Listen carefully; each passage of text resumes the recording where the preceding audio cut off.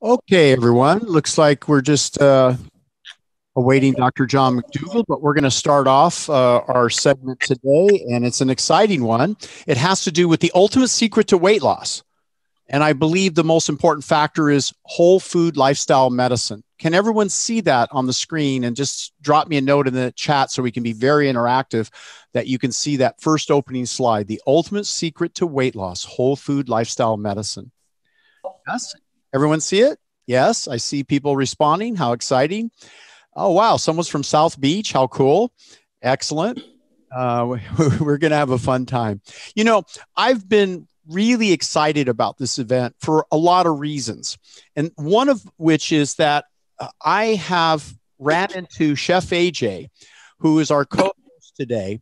I ran into her uh, via a, talk I did on YouTube, which was how to become diabetic in six hours. And uh, in a little bit, my um, assistant uh, Kyle will get me a drop of blood, but I'm going to show on the screen a picture of dry blood. But live blood is rather dramatic and interesting and fascinating. Jay, uh, please uh, join AJ, in, and you know you have a very colorful, very colorful story. Colorful story. And I think you and, and I have been on this odyssey. On this the only odyssey, one longer the only one is, longer is John McDougall is, and I John on this odyssey. And you came kind of new to the party. New to the about party. what over about ten what, years ago or so. Ten years ago or so. Well, which, which party do you mean? Because if you're talking about the plant-based party, it's been 44 years. Wow. Yeah. You were vegan and, and junk food vegan, as you termed it, right? Right. And, eating oil and sugar and salt and all the things that are addictive. And you were actually a little bit overweight, if I say a little bit. I was obese. I weighed almost 200 pounds. So no, I was I was fat. You can say it. Dr. McDougall would have called me the fat vegan. Oh yeah, yeah, yeah. And and and you have a friend at uh, up at True North, and you know you and I have a common friend in in uh, Michael Klaper because he worked with me uh, when I was working with Nathan Pritikin in 1979, uh, 80, 81, and then he went up to work with True North, and then he's got another colleague that heads up that uh, group there where they do a fasting program. And wh- what is that gentleman's name? I know there's Doug and the other gentleman. Dr. Alan Goldhamer. Yeah, Goldhamer, exactly. I'd love to have him on my show as soon as possible, you know? I'm sure he would do it. Oh, that'd be excellent. Hey, we got someone in from Europe. We've got people still joining in. It's so exciting. And I just want to say that, you know, Chef AJ, you probably have uh, an interesting story that also deals with addictions and these addictions tied into your addiction to food and some other issues that came up even with your question about whether you should continue with life. And that had a lot to do with your feeling of self worth and a psychological issue and challenge as a young person. Can you tell us a little bit about that? That was like, well, thank God it was over 40 years ago. And thank God my suicide, suicide attempt was uh, not fatal because I wouldn't be here to tell the story. Yeah. You know, I, I, mean, I try not to think about it too much because obviously it's very depressing and there's a lot of shame around it, but I was not doing well in my teens. You know, I, I suffered from anorexia from early teens. And then what happened is that, you know, it, it, you can't really maintain anorexia. I mean, well, you can, then you usually die. So it turned into bulimia, which was even worse because there's a lot of shame around that. And when you can't even control something as basic as eating, you know, I just kind of wanted to give up because I just, uh, I was very depressed, let's just say. And, you know, the food itself makes you depressed, either the abstaining of the food, because then you have no energy really. But then when you come out of the anorexia, now you're bulimic, now you've got the energy. But it's just, it's such a difficult disease and the treatment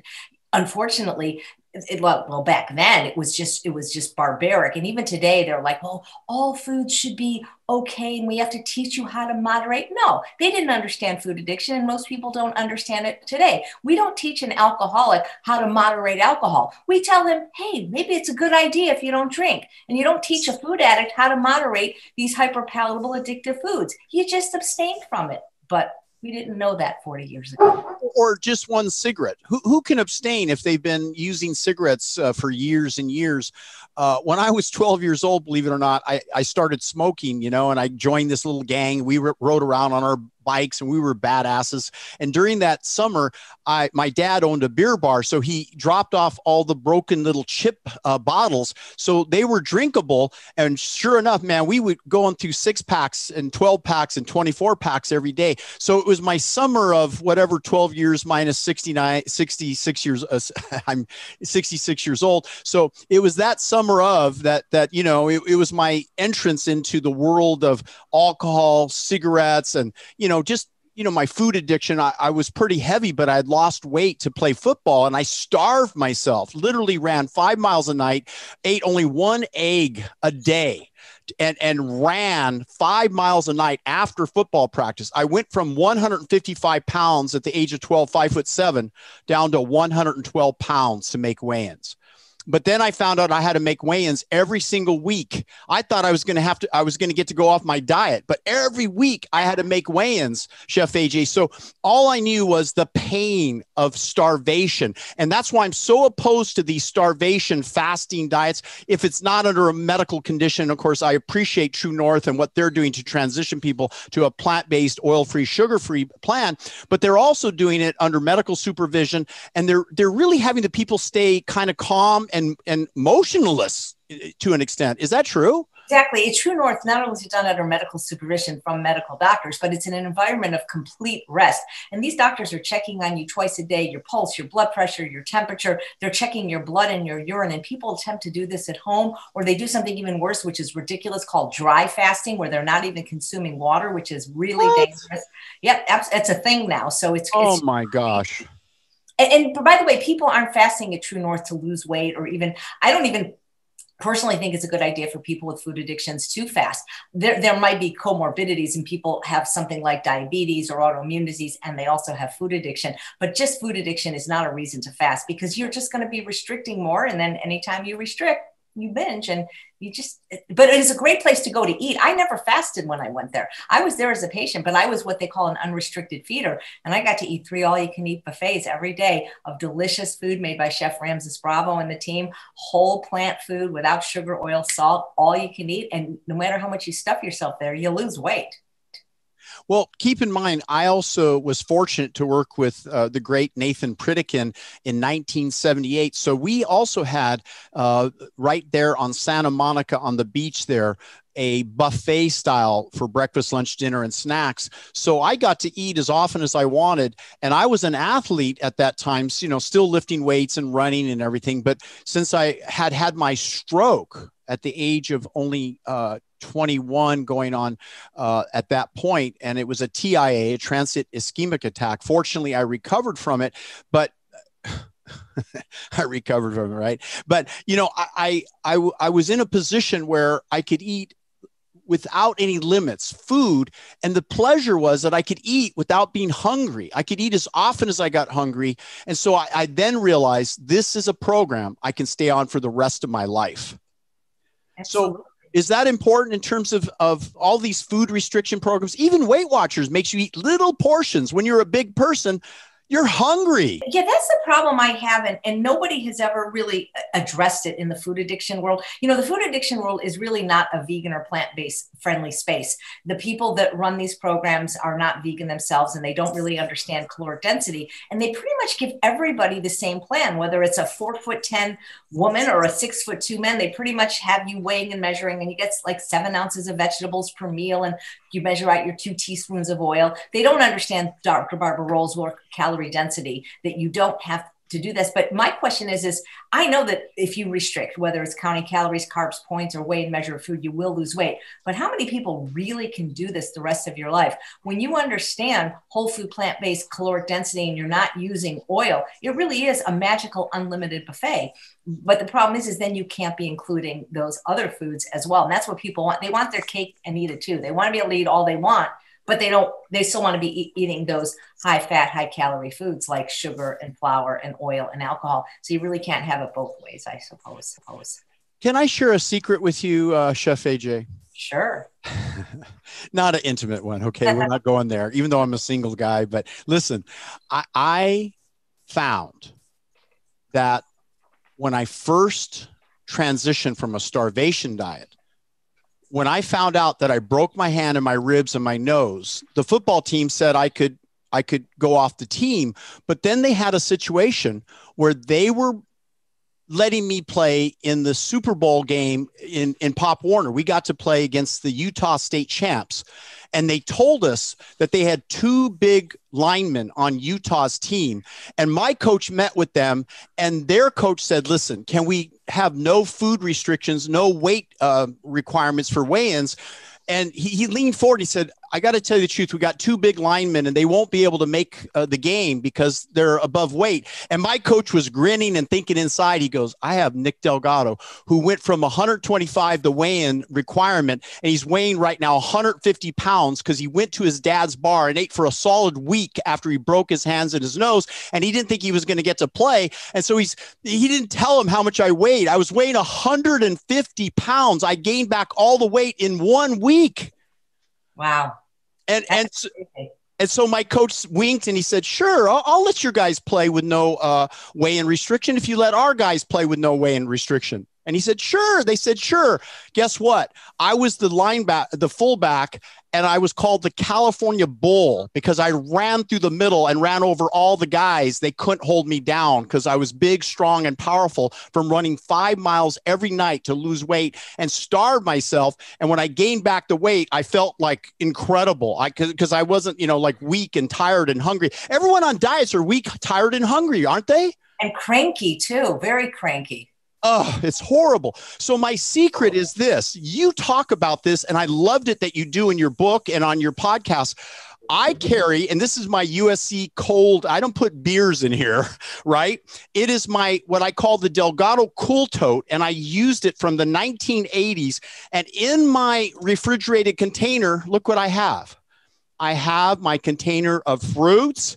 I have my containers of vegetables and beans, 15 bean salad, and I eat through the day. Before this show, I had a mixed granola, gluten free mixed granola with some uh, uh, beet juice. Uh, we call grow muscle burn fat. And I ate that I ate that mixed together organic beets, right? And I had that together with this, uh, what I call organic super vegan protein, all mixed together. And it's all, by the way, it's not one of those proteins where we have isolates of proteins. It's the whole foods, the whole powders, in case people don't know to get a variety. Because we know for the gut, we need a big variety, right? Biodiversity. And the gut's part of the immune system. The gut is part of weight loss. The gut has so much to do with satisfaction and losing losing weight and looking great and feeling great. So for 44 years, this is an honest to God truth, Chef AJ. I have to tell you, I have a paranoia about stepping out, leaving my home without a package of food. For, for 44 years, every day I always prepare the night before and have my container food every day. And I guarantee you, it's the number one reason why I've kept off the 50 pounds and maintained my program for 44 years. Is that possible? I couldn't agree with you more. You know, preparation always trumps motivation. And people say to me, Oh, Chef AJ, I could never do what you did, you know, because I've lost 50 pounds now and I've kept it off for 10 years. Most people that you lose weight 98% of them gain it back within two years. And I don't have any more willpower than anybody else. I'm not that extraordinary, but what I have two things in place. One, I have a clean environment. So I don't have any crap food or junk food in my house. Nobody brings it in, not a drop, a morsel, or a crumb. And I always have healthy food ready, whether it's in my house or when I travel or when I just do an errand. You know, I remember one day a few years ago, it was so funny. I was really just going to the store. And you'd think, well, you know, the store's like 10 minutes away, don't bring food. But but I just got in the habit of bringing my cooler, which actually looks like a very attractive woman's purse with me everywhere I went. And that day I was in a car accident. It was 20 hours till I got home. Could you imagine? Oh, if I hadn't brought that, I would have to eat some crappy hospital food or not eat at all. So, you know, fail to plan, plan to fail. The world is not set up to support you if you are any kind of a healthy eater. You've got to be your own, you know, locus of control. So always have healthy food ready in your house and have unhealthy food not in your house because if it's in your house, it's in your mouth, whether it's healthy or not healthy.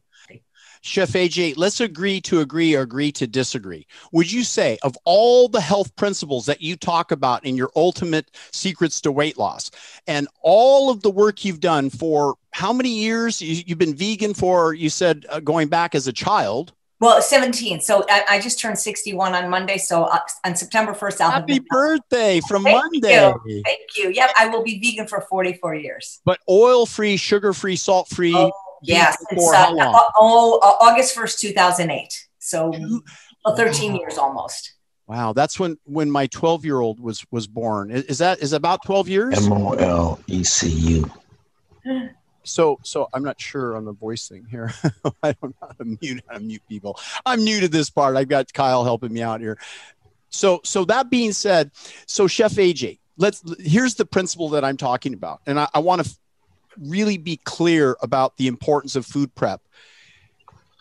In the morning, I might just take from the weekend. I've I've gone to the organic grocery store. I've bought all kinds of fresh fruits and vegetables. Uh, I was watching Mary McDougall's talk about food preparation last night and how she recommends organic, you know, plant-based uh, vegetables, fruit, uh, even even instant brown rice, right? Organic. All these things organic, and and you can just grab it in in a, in a heartbeat. Uh, okay, we're, we're we're showing that. I don't know why it switched to that screen. Okay, so yeah, is this what's showing right now? Okay, so I'm not on that. I'm not on that slide, so I don't know why it's doing that because I see this. But okay, so that being said, hey Danny, can you come over here a second?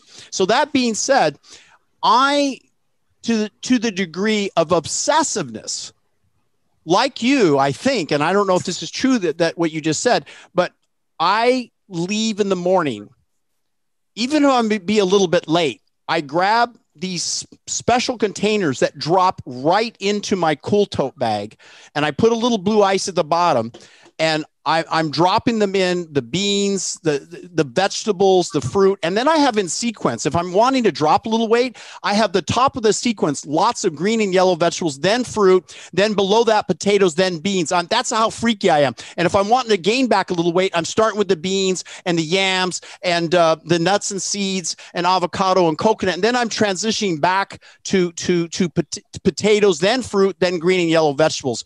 So I have soup, salads, and all these things in sequence either way, depending on because I fluctuate in weight. I'm lifting weights. There's all kinds of things going on in my life. And so when I, I stress, I stress eat too. But when I stress eat, I'm eating the green and yellow vegetable soup, salads, oil free, dairy free, right? So uh, I'm just wondering is this something, this principle of food preparation, but carrying the food with you every single day? And let's say you are trying to lose 50, 100, 150 pounds would this be the one principle that you would choose over all other principles, food prep, and take it with you every day? Would this be the one? And when you're at your desk for 12 hours, don't depend on the lunch, the breakfast, or the lunch and the donuts at your work. Even if you work at a medical office or a hospital, you can't depend on what people are going to bring and put in front of you. You add the more concentrated starches like the potatoes, rice, beans, and then if you're eating anything more concentrated after that, and that's if you're trying to lose weight or break a plateau. But if you're just trying to maintain weight, you can eat everything together together. Or if you're trying to gain weight, you eat the more concentrated calories first. And what people have to understand is the food that are the highest in caloric density are the foods lowest generally in nutrient density. I mean, avocados, nuts, and seeds are an exception, but things like fruits and vegetables, whole grains, legumes, very low in caloric density, all have 600 calories per pound or less, and they all have high nutrient density. On, my, on the back of my book, I have this little chart which kind of tells people if it's in green, eat it. If it's in red, don't eat it. And the thing is, is most of the foods in red are, well, all of them actually are, are either animal products or processed food that our ancestors didn't eat in any meaningful amount. They certainly didn't eat flour and sugar and alcohol and, you know, chips and fries and bread and, and, and all those kind of things. So, yeah. So if, if the fact is that you can carry food with you, and let's wow. say you're on the on the weight loss program, but you only carry green and yellow vegetables, celery st- sticks, tomatoes, a little watermelon. So you're only carrying those first categories that are really lowest in calorie and good nutrient density, but you know, not very filling. And and you you must be including especially like me sometimes i do double shifts. So i have two eight hour shifts. Uh, I, might put a 12 14 hour day and i always have that food bag with me. So i'm not going to be able to live off soup salads fruits and vegetables. I have to have some starch potatoes. I have to have some yams some beans maybe even little nuts and seeds. I gauge prior to whatever i'm doing for the next couple hours what I need for caloric density to get through that meeting or that session, don't you? Absolutely, because without the starches, and people are so afraid of starch and carbs, and you're going to have Dr. McDougall on any minute, minute talking to you about this, that there's no satiety if you don't. I mean, I know there's a few people that can do a raw food diet and eat like 14 pounds of food a day from fruits and vegetables, but most of us need the more concentrated calories from the potatoes, the whole grains, the legumes, or we're just not going to feel satisfied. You can eat fruits and vegetables all day or vegetables all day and feel mechanically full because you've activated your stretch receptors but if you don't have some source of concentrated calories from these complex unrefined carbohydrates, you're going to be hungry all day. And that's really what leads to these binges is that people go too low in calories. You know, when you lose weight with what I call a full plate, you're eating to satiety on these whole natural foods. So you're not losing weight quickly like you are in a keto diet where you're basically losing water and muscle and, and glycogen. But it's very hard for people to, to, to believe this. Yeah, and John McDougall, he wrote the book, the McDougall's program for maximum weight loss. And of course, he's got several other books that he's written. And it's interesting that I kind of got that idea early on about the importance of sequencing. You know, he was talking about the low caloric density uh, fruits and vegetables and beans and peas and, you know, and, and kind of going into that with his, his recipes and he's got this chapter if you can see it from there i don't know if you can but it says very very low calorie green and yellow vegetable dishes favorite garden vegetable salads right so you know the whole idea of be prepared, have the correct foods with you, sequence through them. But the last thing you need to worry about is protein. And we're going to get to that a little bit later because I personally believe it's the number one excuse that athletes, seniors, kids that are growing up who are obese, individuals who are afraid to go on a plant based program because they're so terrified that they have to have a quote protein for breakfast, lunch, and dinner. In fact, that protein is usually what? An animal protein because they've been led to believe that there's something about plant proteins that are quote incomplete. Is there is there some truth to what I'm saying on that, Chef AJ? No, and Dr. McDougall is going to be on in a minute to explain that to you. I remember early Frances Moore Lappé, who wrote Diet for New Planet, was saying that we had to combine our proteins in order to be sufficient on a vegan or vegetarian diet. And then later she retracted that. But by then, the damage has been done. There's nothing special about animal protein. Animal protein comes with it a lot of deleterious things, whereas plant protein a lot of positive things. I'm sure you're probably familiar with the book Proteinaholic by Dr. Garth Davis or the China Study by Dr. Colin Campbell. Americans get too much protein. They get too much of everything, too much fat, sugar, salt. But think about it. If protein was that essential in the amount that Americans think it is, why is breast milk only like 5% protein? That's when a human would probably need it the most. And no one questions the giraffe or the elephant or the rhinoceros as to where they get their protein. They get it from eating plants. So I don't understand this obsession with protein and why people think that animal protein is somehow superior because it's not, because it's more deleterious. It comes with saturated fat and cholesterol, whereas plant protein doesn't. And, and you know, when you think about it, 100 calories of broccoli has something like 11.2 grams of protein. 100 calories of steak has, I believe, 5.4. So there's plenty of protein in plants.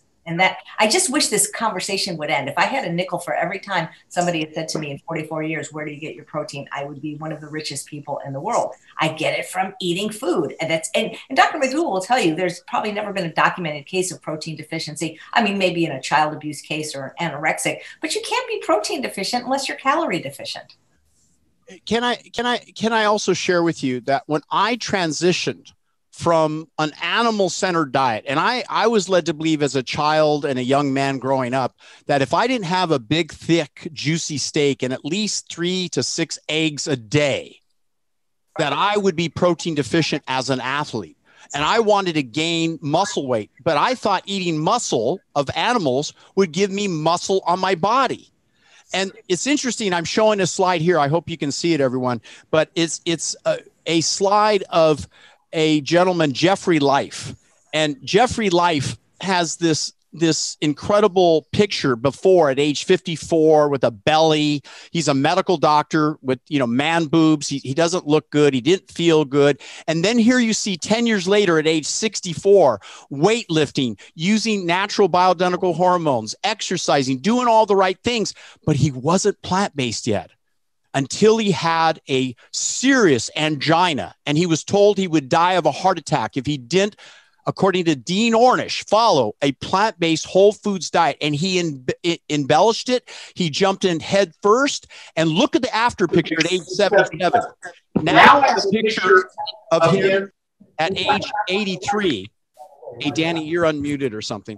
So as you can see this this incredible uh, uh, view here, this is this is the picture of John McDo. Uh, this is Jeffrey Life at age 83. Look at this picture.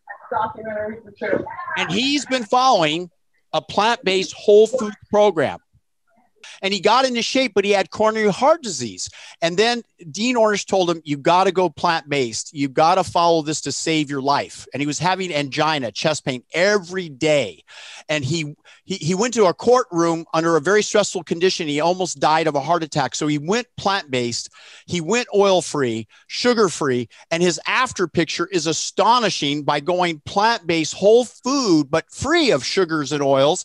And uh, it, it's exciting that a, a medical medical doctor had to learn the truth from Dean Ornish, one of our colleagues. You know, as you know, uh, he, he's he's written a book. Uh, I have it on my shelf here, Dean Ornish. Uh, the uh, here we go, the spectrum. You know, I guess he meant the the colors of the rainbow, right? And uh, Dean Ornish has been the only one of the only doctors, along with Cal- Caldwell Esselstyn, to publish that you could reverse coronary heart disease with a whole plant-based, oil-free, sugar-free diet. Is that correct, Dr. McDougall? And what would you say about this doctor, Jeffrey Life, giving up animal proteins and building muscle on a plant-based diet? Well, uh, Ornish was not the first, nor was uh, Caldwell Esselstyn. I mean, the reversal of atherosclerosis goes back to David Blankenhorn in the 1970s from UCLA. You remember that? Uh, of course, he was from USC, uh, wrong university. And Nathan Pritikin, I think his work was uh, was uh, uh, sophisticated enough to say that he got reversal. And actually, Nick, if you go back further to Walter Kempner's work in the 1940s, he showed by electrocardiogram that you could reverse ischemic heart disease. Back in the 1940s, Walter Kemp with the rice diet. What he showed, and this would be something that every physician is trained in, is that you could change the ST segment from being depressed to its normal position by changing the diet. And a, a, a, segment of the EKG, you know how that you got this spike and it goes up and down. Well, there's a segment in this spike uh, called the ST segment. And uh, under low blood supply to the heart muscle, this becomes depressed. And you can see that very simply with very inexpensive EKG. And Walter Kempner showed that back in the mid 1940s at Duke University that putting people on the kind of diet that you and I believe in, and of course, Nathan Pritikin, our, one of our serious mentors believed in, uh, proved that you could reverse this disease. And uh, of course, that continued to be popular until bypass surgery came along in the 19, 1968 and then angioplasty in 1978 and of course we had no room no reason to change people's diets. We'll just go in and and through mechanical manipulations we'll fix them. But uh, that's that's the way the medical business works nick you'll you'll recognize this book, the max, uh, the McDougall program for maximum weight loss. Right. And here, check this out, sitting right next to it, and I suspect you read it as well. Uh, the Pritikin Permanent Weight Loss Manual. Right. Well, you know, you know, one of the things I really enjoy about you, Nick, is you had so much time to spend with Nathan Pritikin, and you have so many wonderful stories to tell. I, you know, I would really like to have you sometime just tell stories for an hour, hour and a half about the time you had with with somebody in my life who made such a big difference, and that was Mr. Pritikin. Pritikin, I'll never forget. Almost every night, uh, John, he he would either call me up because I would do events in the community, you know, to enroll people into our Pritikin Better Health program, which was a six week program, a weekly program that we basically try to mirror the live in program that Nathan Pritikin had created, the longevity, which right. you called the, the Pritikin uh, program, uh, long, uh, Longevity Center. But it was interesting. But he would either have me come to the Pritikin Longevity Center and I would sit with him at a table while he would talk to people of incredible stature, uh, NIH, Dr. Levy, and he would talk to these people about what are you going to do? Bypass, uh, ileal bypass in everyone to lower their cholesterol when you know all we have to do is put them on a diet. And I would hear them argue, and the, the doctor on the other side would say, well, well, we'll just figure out a way to do surgery on as many people as possible because people aren't going to change their diet. He told him that. He said, they're not going to follow your oil free, plant-based, sugar-free diet. And, Pritikin would argue, he said, well, give them a chance. Maybe they would rather follow a diet instead of instead of having their their intestines removed. And now we know how important the gut is. Imagine how many people underwent that ileal bypass. Aren't they suffering from B12 deficiency, other issues, and shortening of life, depressing their immune system? We don't know the long-term results of, of removing the intestines of the human. So Pritikin was colorful. He was uh, sarcastic. he told it the way it was, you know, and people just basically, I loved listening to him because he he was so direct and he had reviewed the medical literature so well that he had to answer always based on the science and the medical literature which is another reason my favorite book of yours of all time is uh, the uh, the uh, McDougall's uh, Medicine: A Second Opinion. That that book, I mean, to this day, I, I mean, it, it's so so well referenced. It's so incredible. I, I, I just love that book, and I don't know if you can see the book. I have it right here, and I, I outline and underline every single word and, and concept, and I'm like, you've got the solution for most degenerative chronic diseases with this simple intervention of diet, exercise, and lifestyle medicine, right? You know, Nick, I have a chance to share my screen. I don't know whether that'll work or not, but they Please. just published a, just published a paper in the New England Journal of Medicine uh, uh, back in 2020. Let me see if I can get that. Uh, this is it right here, I believe. Yeah, this right here. This is a New England Journal of Medicine, April uh, 2020. Uh, initial invasive or conservative strategy for stable angina. Now, these are people who are not having acute chest pain, but uh, the conclusion is among people with stable angina and moderate severe ischemia, we did not find evidence that initial invasive, in other words, taking people off to surgery, as opposed to treating them with, well, in this case, it's just aspirin and, and uh, cholesterol lowering drugs. They saw no benefit to, uh, to doing heart surgery. And this is a review in the New England Journal of Medicine, brand new. It's just, uh, it's just one paper on top of uh, dozens of papers that all show the same thing. But unfortunately, the medical profession is not interested.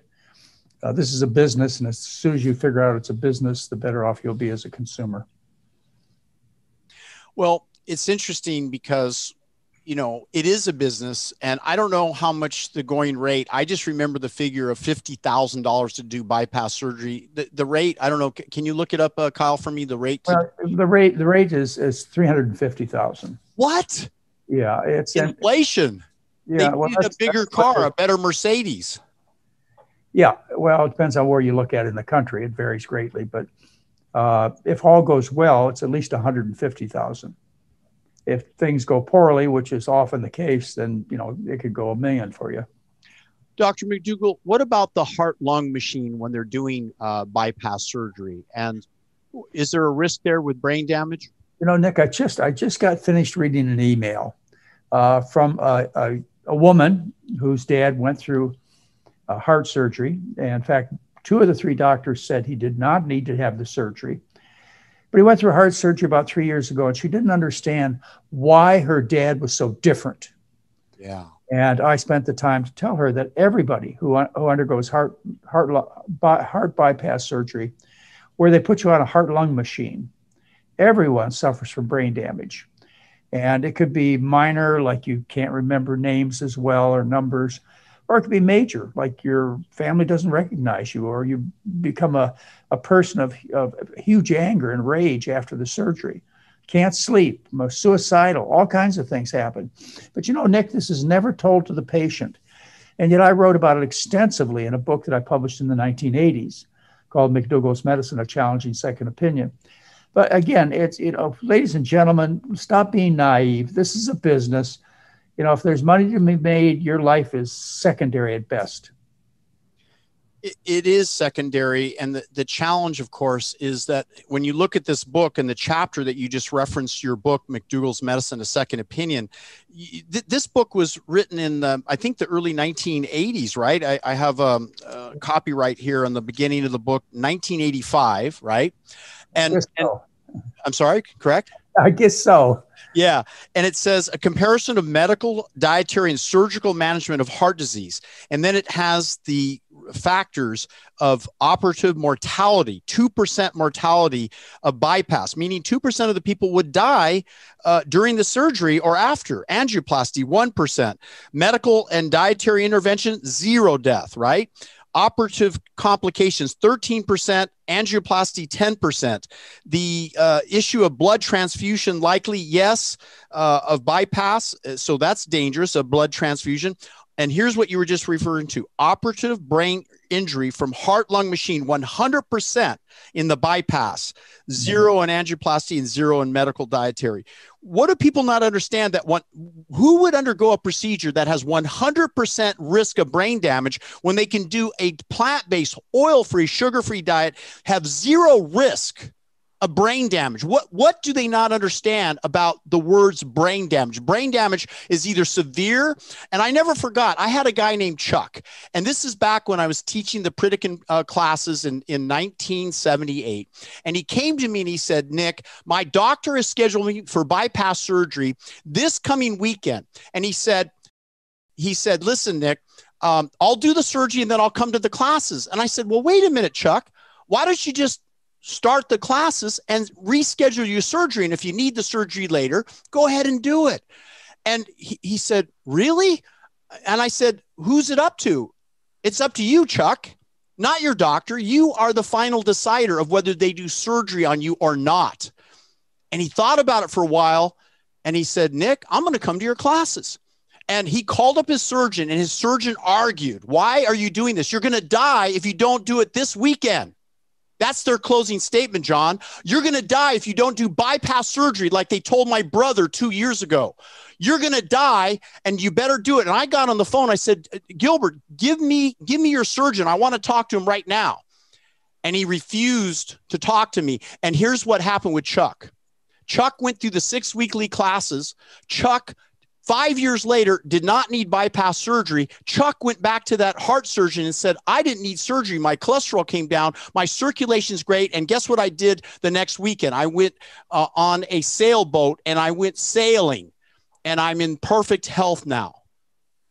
This is, this is something that has to be re- reproduced over and over again because these surgeons are telling them what's the second opinion? They go see another surgeon they're going to tell them you need surgery. Another surgeon another another tells you surgery. But what if they saw you or me or chef aj or dean ornish or caldwell esselstyn? You know what we'll tell them. Do you need the surgery? No. See, see nick this is not how, how the business works. Uh, you know basically they lie by omission. And i just told you two things. I just showed you the paper published in april of last year so one year ago uh, in the New England Journal of Medicine showing you bypass surgery doesn't save lives. So that's been consistent ever since they started publishing results in the 1970s. Uh, add to that the risks that we just talked about, and then add to that the power of a, of a no profit, side effect free program that you can do it yourself at home. You don't even have to enlist our help you know, it's it's you know basically they're written in a form that you can understand it in some of the books that I put together, and AJ's got some really really good books out there too. So you know, it's it's just it's just business, Nick. I'm sorry. It's it's a grim business, and you know one of the big excuses I see, uh, John and, and Chef AJ, is that these bodybuilders think they can only build a marvelous physique by eating animal protein. And here is one of my heroes, Mike Mentzer, who scored a perfect physique in the Mr. Olympiad when he competed against Arnold Schwarzenegger, no less than Arnold. And he said the following by only adding 25 grams of protein per day from the added intake of food you need to build muscle, you can build five pounds of muscle per year every year for five years, you will double your lean muscle mass if you basically train aggressively and hard and you, you know, you you basically understand hormone optimization and you will gain between 25 and 50 pounds of muscle and look like Mr. Universe from only 25 grams of protein, which is one serving of black or pinto beans. Uh, Chef AJ, about how many grams of protein do we know? Isn't beans in the upper 15 grams of protein per cup? So from about two cups of beans, they're going to get get about 25 grams of protein, which is what Mr. Olympia, he took second against Arnold because Arnold was more popular as a contest, you know, but he was the only bodybuilder to score a perfect 300. Mike Mentzer. You have to look him up. There was the Mentzer brothers, he, Ray, and Mike. And he said this directly. And I, I, I tell people this because all the current bodybuilders, when I asked uh, Phil Heath, who's won Mr. Olympiad year after year, I said, Will you consider going off chicken as your principal protein and eat plant based proteins to build a physique that's out of this world? He said, Never. I would never give up animal protein. And I said, Well, what if I told you that you can absorb more protein, protein nitrogen retention from plant proteins and that plant proteins are complete and have all eight essential amino acids? What if I told you that? Would you consider it? He said, Absolutely not.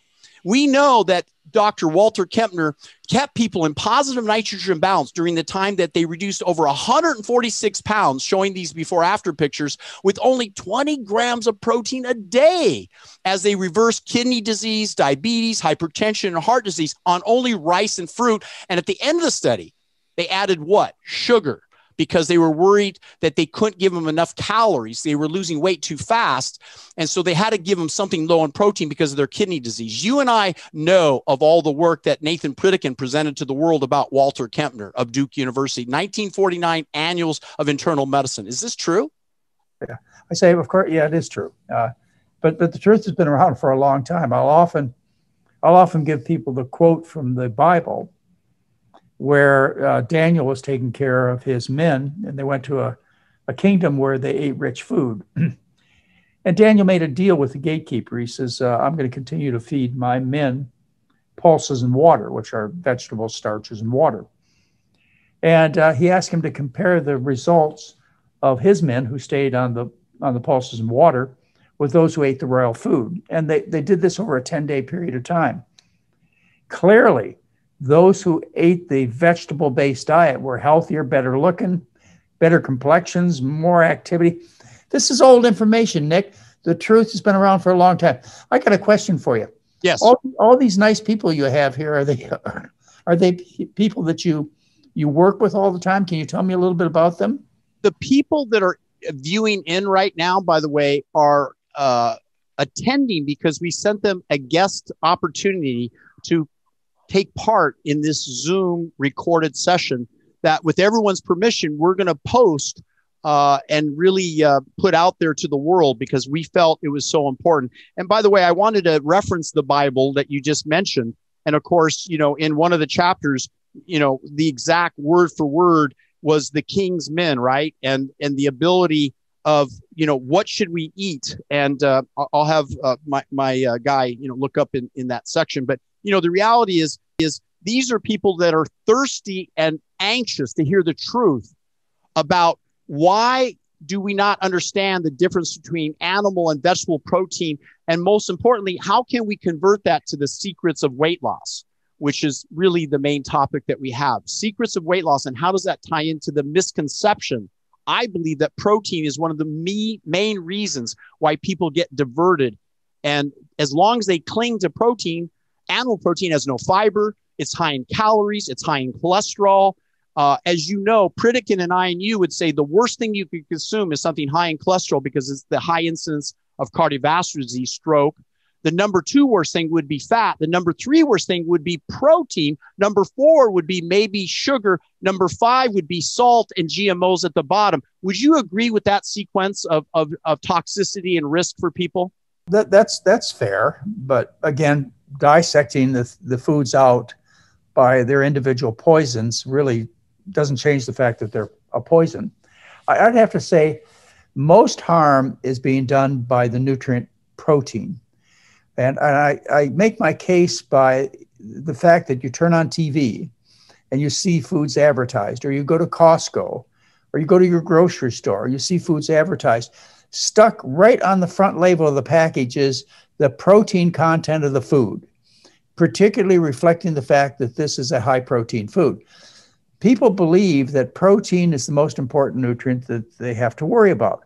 When you and I know, Nick, and it's been known for, well, it's been known for at least 100 years that I know of, that it is impossible to design a protein deficient diet. The threshold is too low. So I would I would say the protein is doing more damage to people's personal health as well as the health of the planet than any other of the, of the macronutrients. Uh, you know, cholesterol is one way of, of uh, uh, bringing about people's attention, but you know, it's it's the whole darn food, which they all happen to be packages of cholesterol, protein, fat, contamination they're just wrong, Nick. That's it's just the wrong food. That's why people are sick. John, I, I would agree with you. Protein is the number one reason, the most damaging food, because once people get clear that protein is the worst toxin, they'll realize that excess animal protein is so dangerous because it always consider that fish has as much cholesterol as red meat. When I say that, people go, What do you mean? Tuna packed in water has more cholesterol than red meat? They go, I can't, it can't be. My doctor said give up the red meat, and I'm eating fish and chicken. Yeah, well. And yet, chicken and fish have more cholesterol than red meat. Isn't that true? Uh, it depends on how you look at it. If you look at it by weight, they're all the same. If you look at it by uh, calories, because uh, fish and chicken have fewer calories than beef does, and you do it by percent of calories, then yes, clearly poultry and fish have more calories that are protein than does uh, beef or pork. Uh, but again, regardless, a muscle's a muscle's a muscle, whether it, it flaps a wing, wiggles a tail, or moves a limb, they're all muscles. And, you know, they're a lot different than broccoli, a lot different than baked potatoes. So I, I you know, I, to get general concepts across to people is important. But I realize, just like you're teaching, Nick, that um, that people react to. They want to know the specifics. They want to know the details. They want to know the the last scientific bit of information that that is going to require them to change their diet. And I'm sure they're going to wait till the last one, most of the people out there. Well, Dr. John McDougall, there was a study done in 1914 by Osborne and Mendel, and they actually then were shown that later, and I believe the state studies came in later, that rat's milk is 25% protein, whereas human milk is less than 6% protein. And they discovered that rats obviously wouldn't grow very well on human breast milk, but they thrive on rat's milk, which is very high in protein. So I made this cartoon, if you can see in my book, uh, I need grains, fruits, and vegetables, and beans for energy, and I get all the protein I need. And my digestive tract is more designed like a bonobos monkey, which is 94.6 genetic genetic match. They're out of Zaire, Africa. They're not like chimps. Chimps will run down and eat an animal, but uh, bonobos monkeys maybe occasionally eat some grubs, some insects, but they eat almost principally vegan, plant based.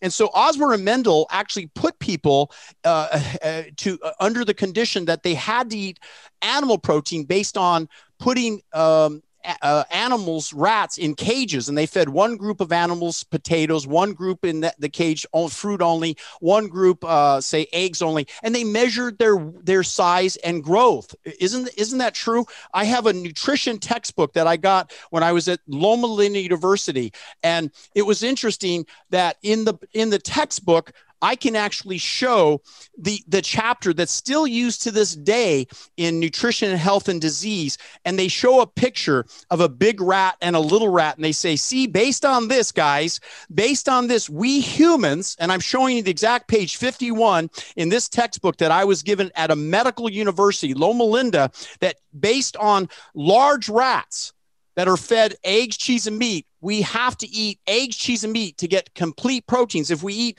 fruits, vegetables, and rice, the rat doesn't grow very big, and therefore we must not eat only rice, fruit, and vegetables because that won't be complete and the rat won't grow big.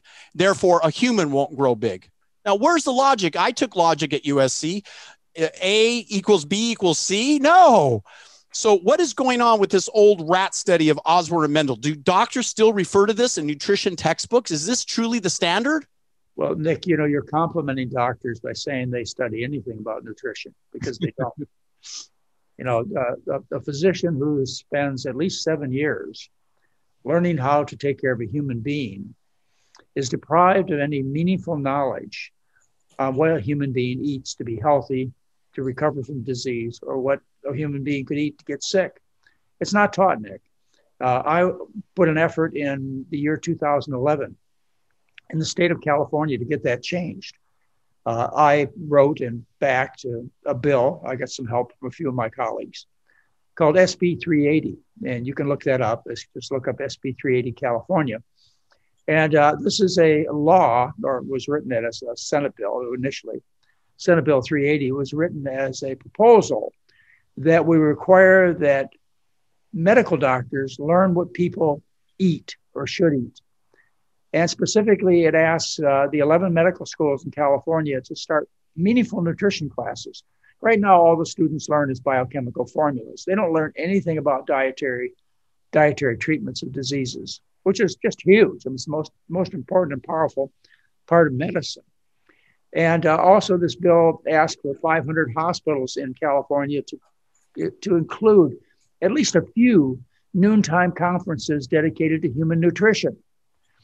And that law was unanimously approved by both houses in the state of California. And it was signed into law September 11th, excuse me, in the month of September 2011 uh, by Jerry Brown, our governor. So it's a law in the state of California. Unfortunately, uh, the physicians involved fought back and they found a way to get around it. You know, I'm just tired of fighting it, Nick. I have uh, doctors all over the country you know, usually a, a professor at a medical school calls me, calls me because they found this bill that I wrote and they realize that I'm associated with it. And they are appalled by the fact that their students in their medical school, they learn nothing about what their customer eats. This is uh, insane. You have a medical doctor has no idea. In fact, they'll go from one extreme to the other. They'll go from high protein Atkins kind of diets to a kind of diet you and I believe is important. And they'll tell you diet isn't important at all. You can live on these liquid cans of protein and sugar. Yeah, don't trust a doctor when it comes to food. You know, Nathan Pritikin used to say, you may uh, be able to quote this better. He used to say a uh, doctor and his secretary knew about the same amount about nutrition unless the secretary happened to be on a diet that moment and then she knew more about nutrition than her boss. That's so true. That's so true. You know, it, it's it's interesting that as we as you mentioned, we've known since the time of the Bible, and uh, here here we have Daniel one, uh, page nine hundred and twelve, and it, it it specifically says uh, the essentially talking about at the end of ten days. Uh, the continents appeared fairer and fatter in flesh than all the children which did eat the portion of the king's meat. And it, it goes on to say, Thus, uh, Melzar took away the portions of their meat and their wine, and they should drink and gave them pulse. What exactly is pulse? Pulse is vegetables. It's really starch. You know, it's beans and corn and potatoes and those kinds of things. But, it, you know, loosely transferred, it's beans or vegetables. Yes, no, I, I went to the other one. There you go. So, Chef AJ, when you're preparing your meals, and are you worried about protein, or are you telling people eat a variety of fruits, vegetables, beans, and peas, soups, and salads? And do you ever worry about them in your meal preparation, getting enough protein, Chef AJ? I never worry about anything. As a matter of fact, earlier when you said, Chef AJ, how many grams of protein in beans. I didn't know I had to look it up, and it's 15.4 for a cup, by the way, and it has even more fiber. I just worry about getting enough calories, and I get most of my calories from starch, from wet starches, you know, potatoes, rice, beans, not processed starches like bread and flour and that kind of thing, and sugar. Just I eat a lot of potatoes. The more potatoes I eat, the leaner I get. Yeah, and it's I get plenty of protein. Yeah, I met a gentleman. You probably obviously both know his name, but it was at John McDougall's event where I spoke about the myth about protein. and uh, he's a guy that ate only potatoes for what over a year or two, and he lost how much weight? And he was called the Spud Man or something, right? He, he lost more than I weigh. He lost 120 pounds. Oh just eating potatoes. Gosh yeah, there's a section where I'm doing the talk and I run to the back of the room and I jump up and he grabs me, you know, he catches me and stuff. And I go, How many potatoes did you eat? Did you count them? You know, and he, he, he kind of laughed. He said, No, I didn't actually count them. He just, I just kept eating p- potatoes ad lib. People don't realize a medium potato is only 118 calories. And we know Dr. John McDougall had the great opportunity to know about Denis Burkitt, who told people in a study to eat as many potatoes as they wanted, 10 potatoes a day. So long as they ate potatoes, they could eat anything else they wanted. And in that study, every person lost weight in a clinical study. Is that true, John? You know, actually, uh, Nick, I can't remember that one. It's, you know, it's, it's rare that you can put one over on me, but I can't remember that study. Yeah, yeah. I, I have got my book here. Uh, from, right. from, send, send that one to me, Nick. Nick, I'll conclude that in my armamentarium. I don't have a library near as nice as yours. You know, I, I used to have a library. I don't have a library anymore. Yeah. Well, I, I, I, one of the things that I felt when I entered in this field of lifestyle medicine that the more books I read, the more knowledge I gained. I realized that my knowledge could not translate to people unless I used what's called neural reprogramming, which is a type of NLP, timeline therapy, and subconscious training. Because most people run on programs and they they think repetitively, well, what did I eat for breakfast, lunch, and dinner? And and they have 60,000 thoughts a day, of which half are negative. So they're telling themselves, I can't lose weight. I've never lost weight before. And Chef AJ, when they get into that situation where they can't lose weight, what do you tell them? How do you get them to that initial hump? And initially, if they go to a plant based diet, don't they gain a little weight from the water weight that they've gained and the food that goes in their intestines? And for a while, they might give up because they're used to all these promised high fat, high protein diets that draw all the water and they lose weight from those diets. And now they go on our diet and they gain a little weight for the first several weeks. What, what do you tell them? Well, I tell them stop weighing themselves, first of all, because you're right. When they're on a keto diet or low carb, they, they, they lose water and they lose glycogen. And when you eat the way we, we tell you to eat, you're, you're the, the scale's going to go up about four pounds, but it's not because of four pounds of fat is about two pounds of glycogen and two pounds of water. So, first of all, stop weighing yourself. Number one is what I tell them. And then if they just let the calendar do the magic and eat the way Dr. McDougall says, it's never not worked. He's had tens of thousands of patients at his live in program, and True North has had almost as many. Nobody's never not lost weight eating that way. And Dr. McDougall is the one that taught me that Dr. Kempner used to say that all dieters are liars. I've never seen anyone gain fat from eating potatoes unless they were putting butter or margarine or sour cream or avocado or some kind of high fat food on it, you know? But so- is it okay, like uh, Mary McDougall shows, to put chili salsa on your baked potato? Or my favorite that I saw last night in her meal plan talk was she puts mustard on her baked potato and it melts with the with the uh, potato and it tastes so good. I mean, there's so many ways to flavor uh, potatoes with even McDougall's uh, uh, beans. It's it's a. Do you still have that food line, John, where you put the beans on? And Chef AJ, is that something you can do in your food prep? Uh, teach people how to eat properly. It's so easy, you know. I, I right now there's a pandemic, so I don't travel, but I used to travel every week for over ten years.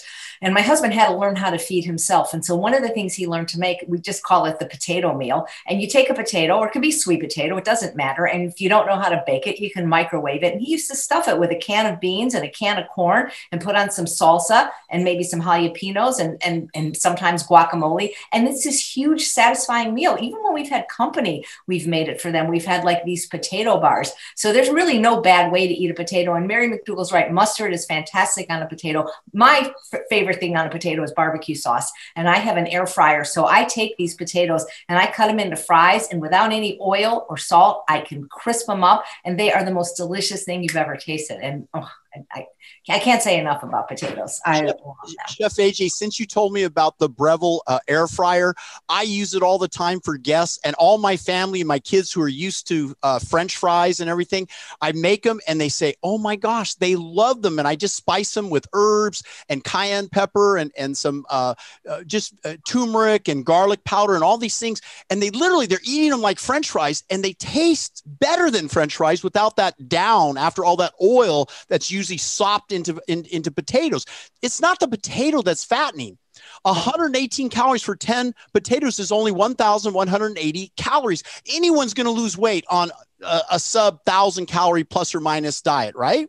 Yeah, and plus, I believe they're one one calorie per gram, and you can't you, they're so filling. How can you really even overeat on them? When they've done studies in satiety dr susanna holt did the satiety index. Potato always is the most satiating food. It's very hard to overeat on potatoes unless you're adding a lot of other stuff to them that's going to cause you to overeat I was watching John McDougall inter- introduce Mary McDougall last night on that uh, program where she was talking about food prep, and she talks about making in these. Um, I'm not sure which kind of uh, cooker it was, a, a, double boiler, maybe it was a, uh, a, pressure cooker type thing, but she would make these mashed potatoes and put them, you know, because they're so satisfying with sweet potatoes. John, you you you've got the best situation. Your wife is making you incredible food. Isn't that the biggest complaint? I don't know how to make this food, right?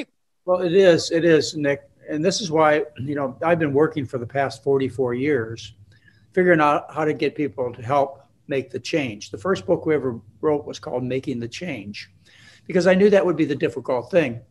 And so, you know, we've run live in uh, lockup programs where we take people and lock them up for somewhere between 10 and 12 days. And I ran those for 34 years.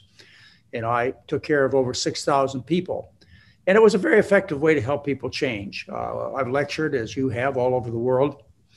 And uh, we put out even a, a, a, food line, as you mentioned a couple of minutes ago. Dr. McDougall's Right Foods right now is in over 8,000 stores across the country.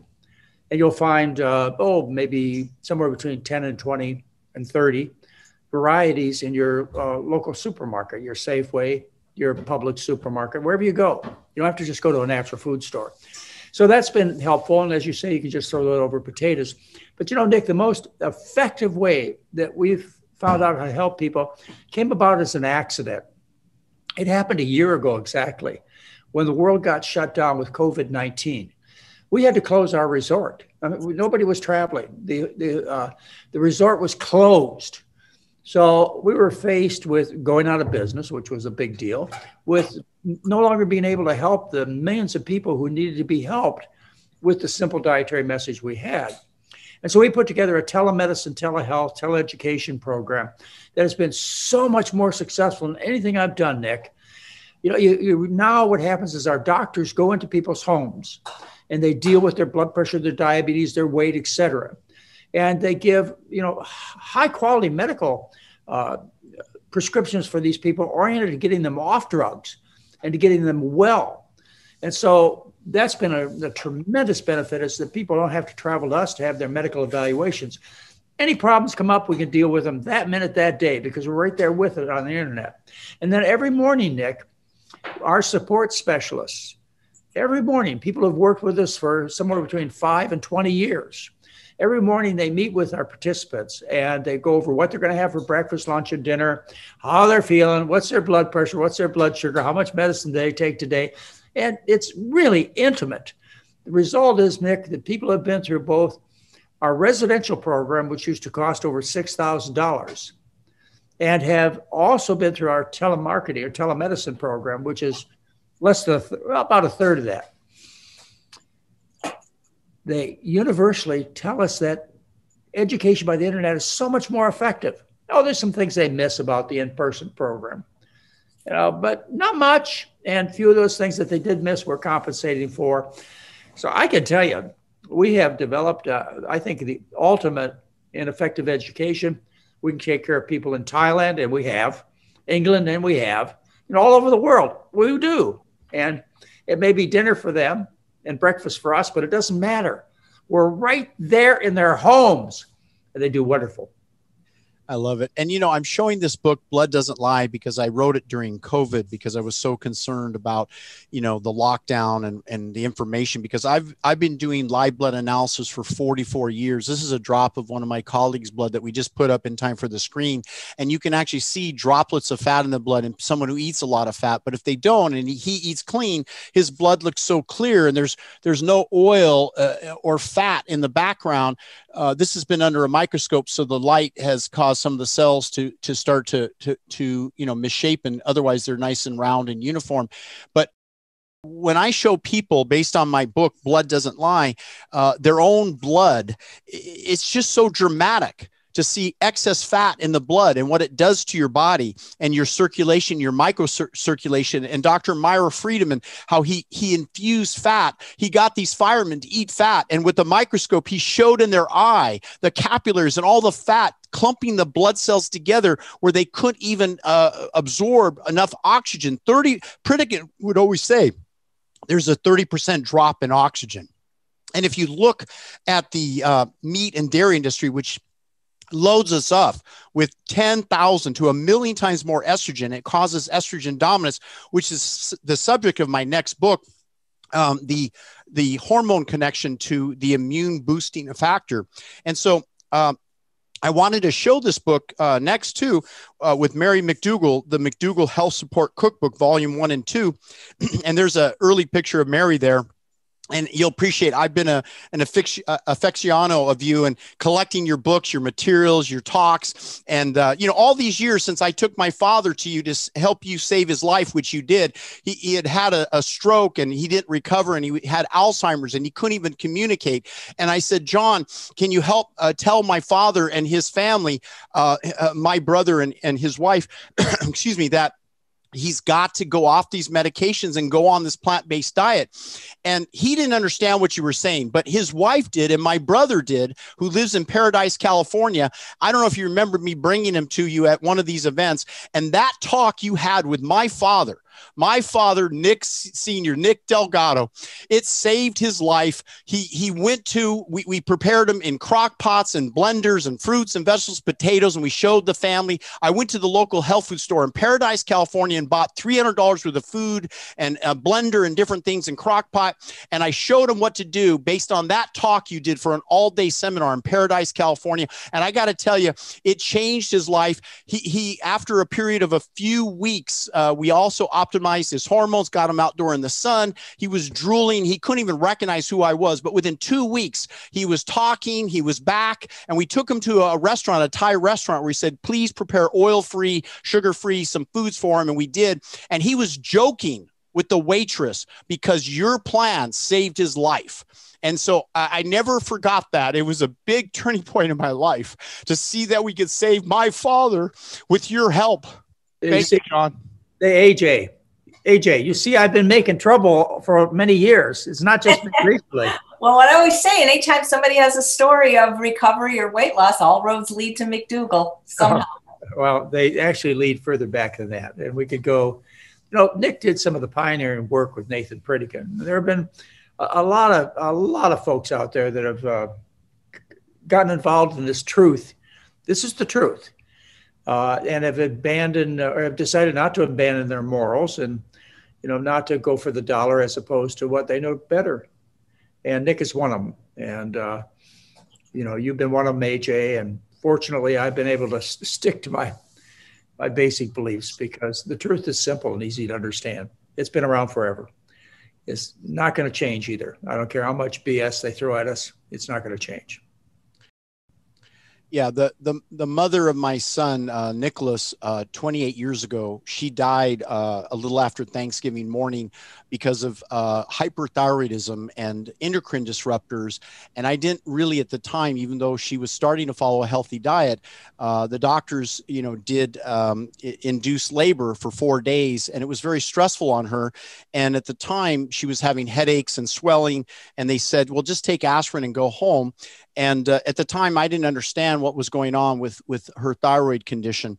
And uh, of course, we know that there's a lot of endocrine disruptors and uh, uh certain things that affect uh, our thyroid. And so, for me, I spent the last 28 years studying everything I could about hormonal balance and about diet and exercise and and meditation and everything that it takes to help people live a better quality life. So, you know, when my son, who never met his mother, you know, um, uh, we went up to Northern California, and uh, I, I, remember sharing with you that she had passed, and uh, it, it, was a tough time for me because you know to raise my son, you know, by myself, and and and to kind of live with that um, that feeling of guilt that what could I have done to save her life? You know, when you lose someone you love dearly, you, you got to dig deep and think, you know, what more can I do to help people? So I'm so thankful that you're on the show today, Chef AJ and John McDougall, because you know it, it it's motivated me to help and and you know chef aj you're doing like daily shows. You are amazing. And john you know you're still coming out and, and doing shows. And i you know again it, it means the world to me that you're out there sharing the truth today was my 450 450th show oh, god bless yeah and you i know you've been on and dr mcdougall's been on quite a bit i i'd have him on every day if he'd come yeah right you get tired of me I wouldn't. anyway, the uh, there have been a lot of people involved in this, and it's been a successful thing for some people who would listen. Like you say, it always works. It's it's it's so fundamental. It's as fundamental as uh, as a drunk downing a bottle of vodka and the results. You know, if you sober the drunk up, you know what's going to happen. Uh, the same thing with food poisoning. You stop poisoning people, and the food poisons are very simple they're animal foods and vegetable oils. And instead, you feed them a starch based diet with fruits and vegetables. You walk them around a little bit, give them a little sunshine, take them off some of their toxic drugs, the ones that are doing them more harm than good, and they thrive. And even in older age, uh, you say, I'm still around, Nick. I've been doing this for half a century. I'm now in my mid 70s, and I have to say, I'm, I'm as good at speaking, maybe better, and as good at writing and maybe better and putting slideshows together. And I think it's because, uh, you know, you, as you age, what happens is things coalesce and they start to make a total sense. And I've forgotten a lot of facts, you know, some of them that you brought up today that I've forgotten. Uh, but that's okay. I think what happens with getting older is you have such a, a broadening of your understanding of what's going on that you're able to convey the message much better. At least I've found that in myself. And I'm certainly hoping that over the next 10 years, I don't lose that. Uh, certainly by 85, it would be not usual for people to be functioning as well as they did in their 40s. And it's very seldom at 95. I tell you, I, I have no particular long-term goals like that. I just, you know, want to keep working. Uh, yeah, I tell the example of Bernardo LaPallo, who who, uh, grew up in in um, the Phoenix, uh, Arizona area, and he lived to the age of 114. Uh, 115 uh, plus or minus there. And he wrote a book, author of Living Beyond 100. But his secret was he was mostly plant based. He would walk every morning. He would get to sleep at sunset and, rise. Uh, that is, uh, uh, yeah, sunset and then rise at sunrise. And he he followed a, a whole plant based diet for all those years and there's videos of him making like a bean salad and a, a fresh fruit salad and a, a, green vegetable salad and he would add in garlic and, and different things and you know it, it's really exciting because my mom has turned 86 and, and she helped me with this book simply healthy cookbook which fit, took me 15 years of gathering recipes from around the world and wow. i know chef aj you have an incredible cookbook and john uh, with mary and her ability to help with cookbooks because you know, I, I remember back when our lecturers, our educators, when they taught the science, but they weren't in the food preparation department. I look back and a lot of those guys gained the weight or, you know, not too healthy now. But the food demonstrators, the, the cooks, they're all in great shape. They look fantastic because they learned proper food preparation and to make it a way of life. Isn't that the most critical factor, Chef AJ and John, is to make this something that is just you do it without thinking. You you don't sacrifice. You wouldn't put uh, cheap gasoline in a nice brand new car. You'd put the best gasoline. You wouldn't mix it with kerosene to cut it or something, or or put fat in the gas tank. You would you would uh, do it the best. Horse race owners, they they feed their horses better than anything. You wouldn't give horses the wrong food. So why are we doing this to our bodies? Because a lot of people like uh, Jack LaLanne, who who ate foods as grown, he, you know, he was very into at age 95, uh, trying to do the right thing. And Bob Del who I coached near the end of his life, and got him on a plant-based whole foods diet. Here's a picture of him at age 84. So, you know, each person kind of comes into this life and you know they sometimes look at us plant-based doctors and educators and they go well how come you're not big and muscular like you know some of these people? Well it's not the plant animal foods that's got them big and muscular. The the muscular part they admit they're using steroids. They're using chemicals to get massive with weight training. And you know we know that probably bioidentical hormones might be safer but herbs modify these foods. So, what do we need to do to educate people that it's not be eating a big slab of meat that are going to grow muscle? Uh, gorillas are muscular, right? Bonobos monkey, monkeys are, are muscular, and they're all plant based. Our relatives, if we believe they're part of our, our lineage, or if we just go back to the Bible and say what what uh, we were told is appropriate for our way of, of living. What do you think? Well, I, I wish I had the answer, Nick, as to how to get people to change.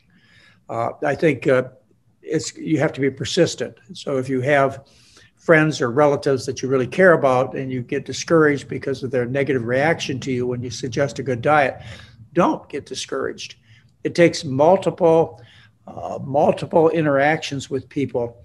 And you know, I've found, and, I ask it asked quite often because I've taken care of over twelve thousand people. I, I, get asked, uh, uh, who is it that's going to make this kind of change? And, and I tell you the truth, you know, I don't know. Like, you know, it could be a, a well-educated professor in chemistry who's been to school for, you know, post-grad education and so on, refuses it. Whereas the person who's had, you know, a fifth grade education and, you know, no opportunities in life, they can see it. I, I don't know. You know, I come to the conclusion it takes a little bit of a little bit of knowledge, a little bit of w- ability to communicate. Say an education of a seventh grader, that's enough. And uh, you also need to have a high level of self worth. Now, Nick, I, this is a, I think the biggest problem with people, and I don't know how to deal with that. I have a great psychologist, Doug Lisle, who tries to figure out how to deal with people's uh, self image. If people don't care about themselves, it's you know it's all downhill uh, these are the folks that smoke cigarettes still in face of all the knowledge we have, the ones that uh, abuse alcohol with all the knowledge we have. You know, they just don't. They just don't care. You know, as far as some people are concerned, it's just a matter of uh, getting life over with. But you take a successful person, person who has a great family, great job, great life, and oh my goodness, just tell me how to be healthy. Tell me how to get my health. They're motivated they care about themselves. So I have a slide that I wanted to show, and that is this particular slide. It's possible that by getting a, as little as 20 to 25 grams of protein from plant protein only, no animal added whatsoever, the intestines slough off about 30 grams of protein, and it's pure quality protein that we redigest and recycle. We also recycle over 150 grams of enzymes that are the best quality protein the body has. So we already get uh, over 180 grams of protein. Then, if you just eat enough calories to meet your caloric needs, that is your ideal body weight, then you're going to get over 205 grams of protein without having to do these ridiculous athletic uh, beliefs that you have to add 100 or 200 grams of more protein above. They're over toxic. Toxic. They're getting too much sulfur. Is it the wrong kind of sulfur? Because plants have sulfur too. So which is it? I, I reviewed a recent talk of yours, and you were talking about toxicity, how eggs stink. You know, and you go to a lava pit, and that's sulfur, and you know that's toxin. But what about the plant sulfur? Because there's plant sulfur too. So uh, what's going on with that? You know, I don't know that I have that completely figured out, Nick, and I don't know whether people have the biochemistry down enough to, to give me the answer that you're looking for. But I can tell you, eating sulfur found in garlic and onions is a pleasurable experience for me. The rotten eggs, you know, the sulfur that comes from animal foods is disgusting. It, it uh, sends a communication of sickness, whereas I don't get that reaction when I eat high sulfur containing plant foods. There's a big difference. It's how they're packaged. It's how the, the, the sulfur is packaged, Nick. Okay. And I, I also, is it true that the body recycles these uh, essential intestines and enzymes? So we have a built-in way to kind of uh, deal with uh, what Frances Moore Lappé, who you interviewed, and she talked about in Diet for a Small Planet. And I have that book on my shelf that you need all eight essential amino acids. So you must combine rice with beans to get a complete protein. But in her 10th year revised edition, she retracted that and said, I'm sorry, I was so wrong. You get all eight essential amino acids from rice only or beans only. It's just good to have the variety, right? But you don't have to combine them to get a complete protein. What do you have to say about that? Because I know you personally interviewed uh, Frances Moore Lappé when she was getting all kinds of attention, uh, supposedly giving us good advice about combining plant foods. Yeah, Frances Moore Lappé made some very positive contributions. But one of the things that she did that was negative, and as you mentioned, she po- apologized for it, was she convinced people that plant foods were incomplete and that you had to mix, mix and match. And that means you have to be a dietitian or carry around a dietetic handbook to avoid um, something due to protein deficiency, which has never been described. I think unless you want to go to the trouble that you and I have gone through, Nick, and that is to look at the basic research. And I've reviewed that in several of the publications that I've written. Unless you want to go through that trouble, you need to, to come to the conclusion that there's no such thing as protein deficiency. Why? Because you've never seen it. You've never seen protein or amino acid deficiency. No friends have it. No offspring have it. No parents have it. Nobody has it. Based on blood lab work, the protein levels remain just as good on a plant based or better than they do on an animal based diet. You oh, don't see it. You brought up the best fact that in those people who starved, I think it was Ireland, and they went without food because it was a, a, a, cause. And the people who died did not die of protein deficiency, they died of fat deficiency. Right. Yeah, eh, as I mentioned, and, and again, have faith or do the research yourself. You know, that's your choice. I've done the research. I put it together in a lecture that's uh, that Nick has referred to on a few occasions. Uh, I just put it up on the internet on YouTube. You can look it up, McDougall and protein. It'll get you there pretty quickly. Uh, I will go over a lot of the research for you. And uh, in the books that I've written, I go over the research. Otherwise, believe it. You have never seen protein or amino acid deficiency. You've seen problems due to excess protein, like kidney stones, osteoporosis, kidney damage, liver damage. And the foods they're associated with, when I say protein, you say meat, and maybe you say eggs, and maybe you say cheese but that's the category of foods you're thinking of. So uh, anything high protein is going to be high animal food, and that's really the destructive part of the diet. You don't have to go into any more details. Animal foods are food poisons for the human being. Yes, we're tough. Yes, we can tolerate two packs of cigarettes a day. Yes, we can live on a half a bottle of whiskey a day. Yes, we can live on hot dogs wrapped in bacon. The body's tough.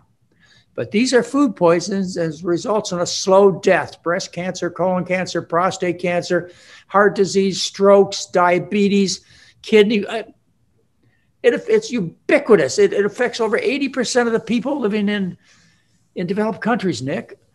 You know, and the, the, what troubles me, and I know it troubles you, and I, AJ uh, deals with it every day with her people on her class, is why can't you see this?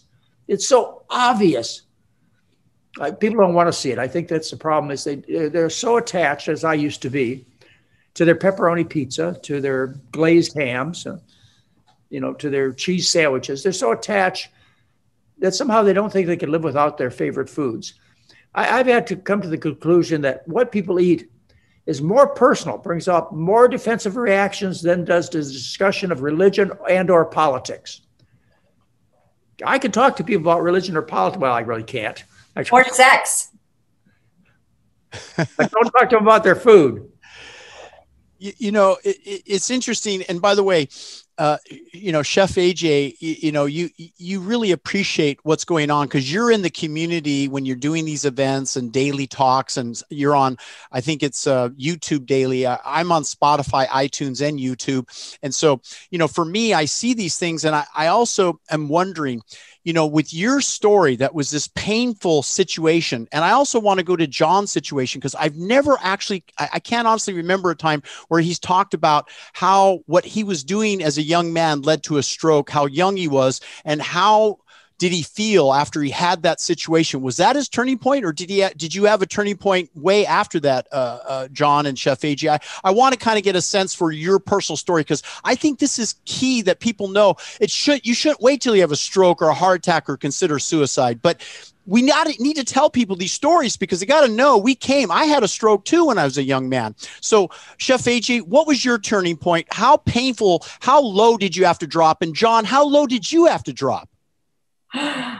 Oh, pretty low if you wrote a whole book about it. But yeah, you know, I mean, my, my, my, well, I have different turning points for different things that I accomplished in my life. But when I finally lost weight after being obese for over 50 years, it was when I broke my knee. I had a slip and fall accident and I was just too fat to use crutches or a walker. And I was in a wheelchair for like four months and I couldn't even go to the bathroom by myself. And I had my husband helping me. And that was just humiliating. And I said that as soon as I got out of the wheelchair, I was going to do something about it. And I did. And that's that. So that was my rock bottom.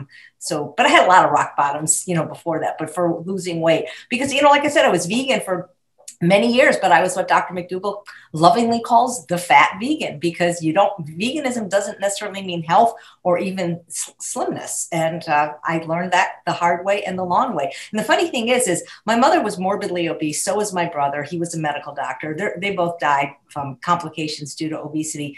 And my mother had Dr. McDougall's book on her bookshelf, like when she died. Uh, it was unread, it wasn't even open. And it's like, you know, it, it's just, it's mind blowing how many people suffer and die from not reading that book. And Chef AJ, was it something that was very painful for you to be actually transitioning to be a chef uh, as a vegan chef, but be called a fat chef. Most chefs, it's okay to be fat because it's yeah. a sign that they they make good food.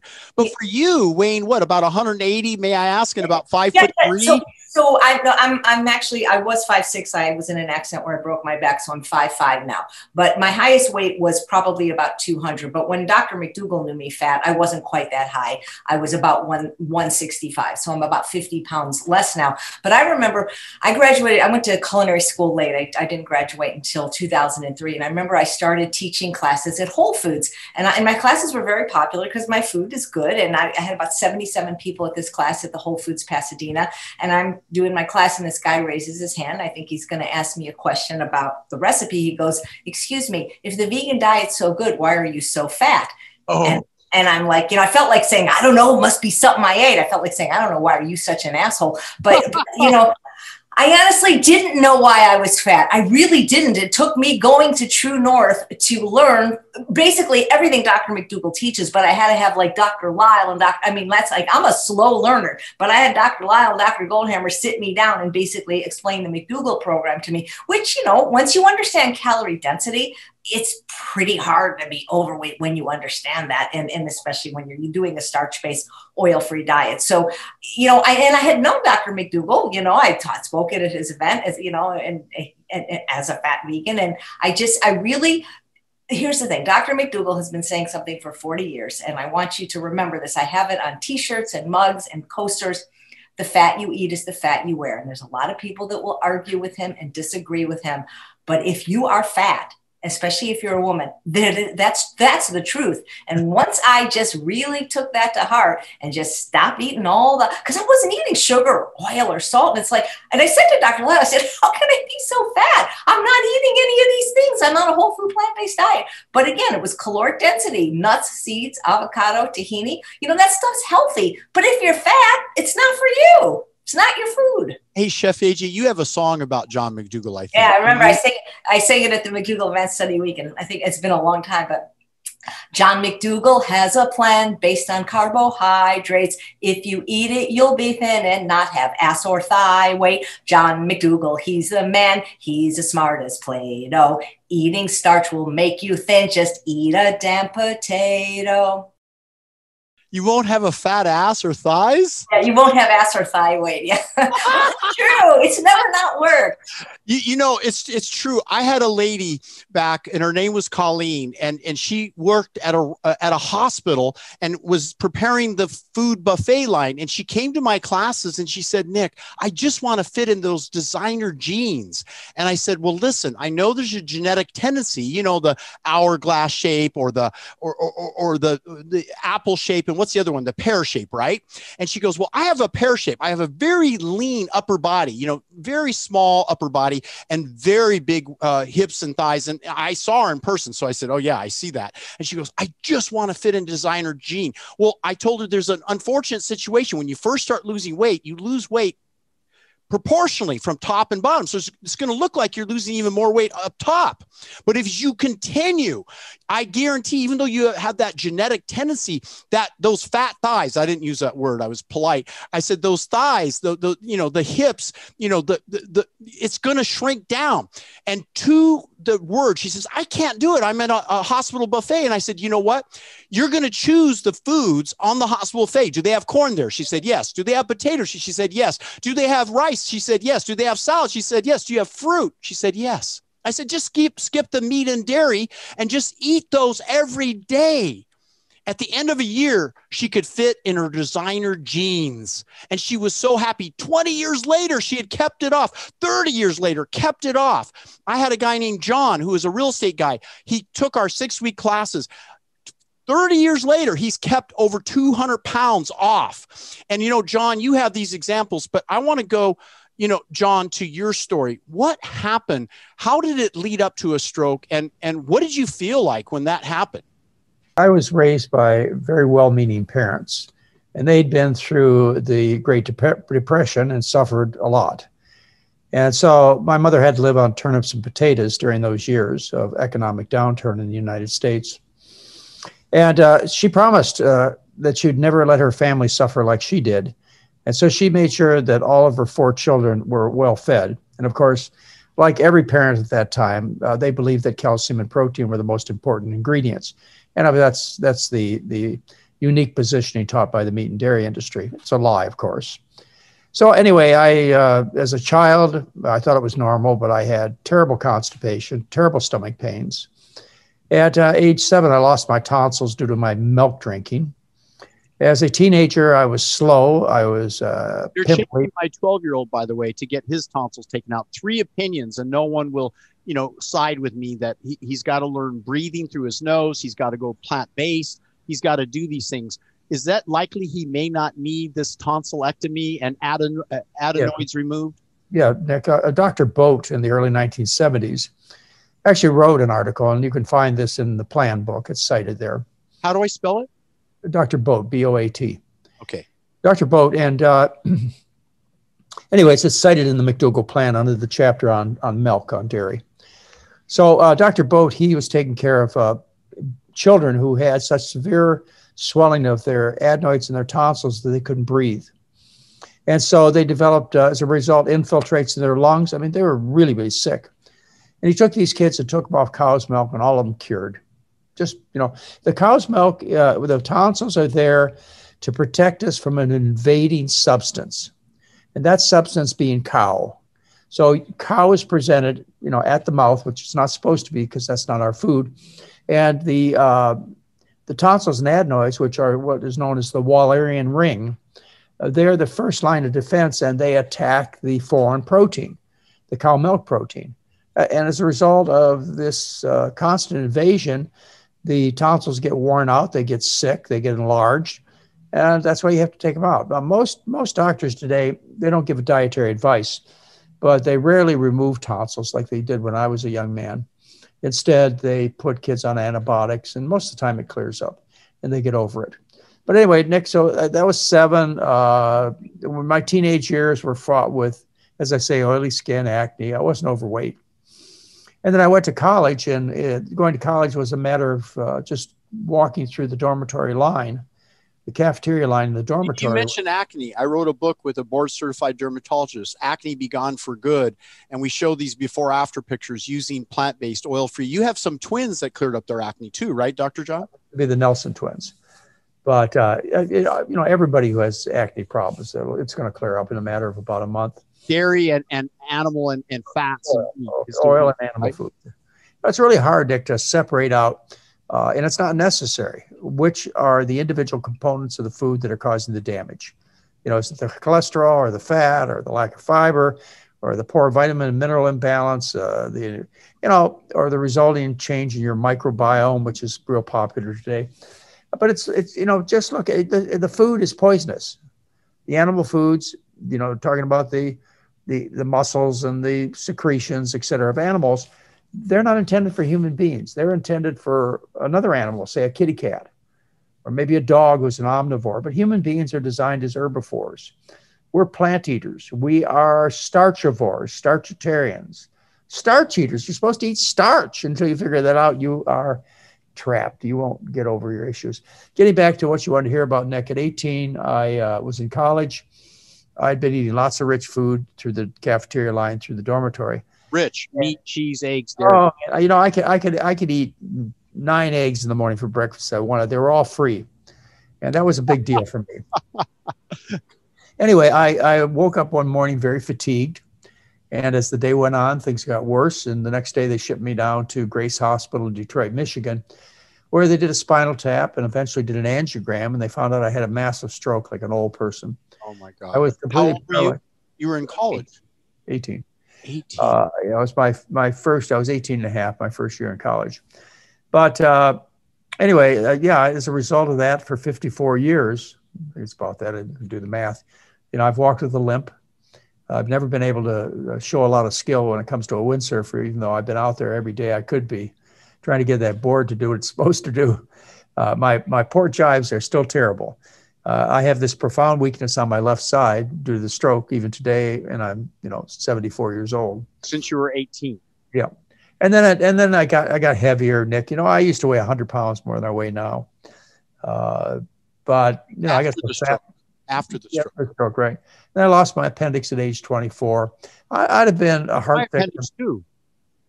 Yeah, I'd have been a heart disease victim or been dead by age 30. Uh, it was I, I was not destined to live long, or certainly not well.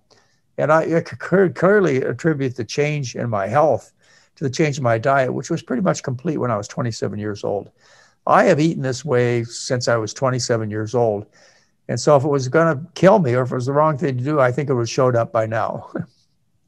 So, was there something that went through your mind? I mean, I- I didn't quite cl- get, you know, age 27. H- how did you change? What was there someone you saw or, or yeah, what happened, what happened, Nick, is I had this experience of being a sugar plantation doctor, where I was taking care of first, second, third, and fourth generation Filipinos, Japanese, Chinese. I was working on a sugar plantation on the Big Island of Hawaii for three years. I was very frustrated because my patients never got well, Nick. Those with chronic disease never got well, which was most of my patients. And uh, so I thought I was a terrible doctor. I went back into training. And because I wanted to be a good doctor, I mean, there's no sense in spending your life doing something that is fraught with failure.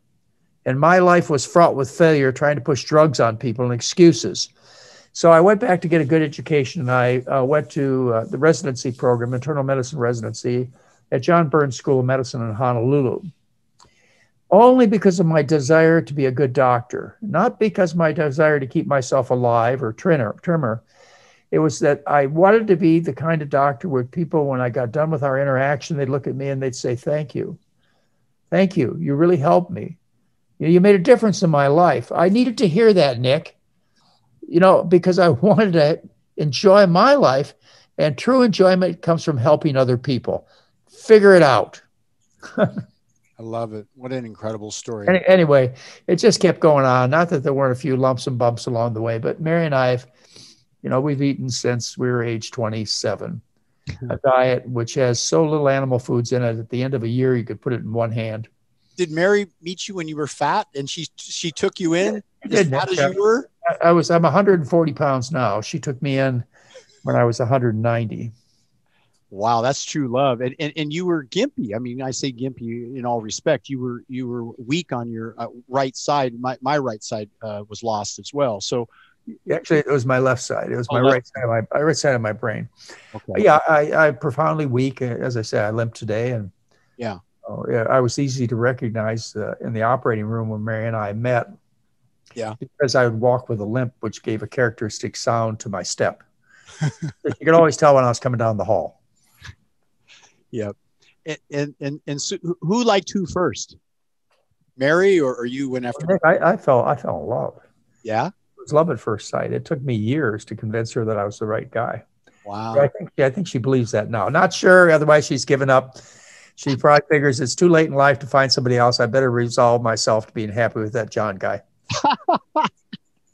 oh my gosh, that's amazing. Oh, very serious, Nick. I had to prove myself over and over again to be worthy. But no, it was uh, a love at first sight, and it was fine with me because because I knew I would find the right woman uh, when she showed up. I knew that because my parents told me that. My ter- parents told me that if I was honest with myself, and when the right person showed up, I would know who she was. How did you transition? How did you together transition when here she showed up and you pursued her? But how did you did you convince her or she convinced you to change the diet? Was one of you, you know, the, the it was, point? It was, it was, together, Nick. You know, we had this plantation sugar plantation experience. Yeah. Mm-hmm. We were on the Big Island of Hawaii. We were so we were mixing, mingling with hippies back in those days in the 70s. Right. And uh, of course, some of those these hippies had already been the vegetarian route. Yep. So I was challenged, I say, I was challenged by being a terrible doctor.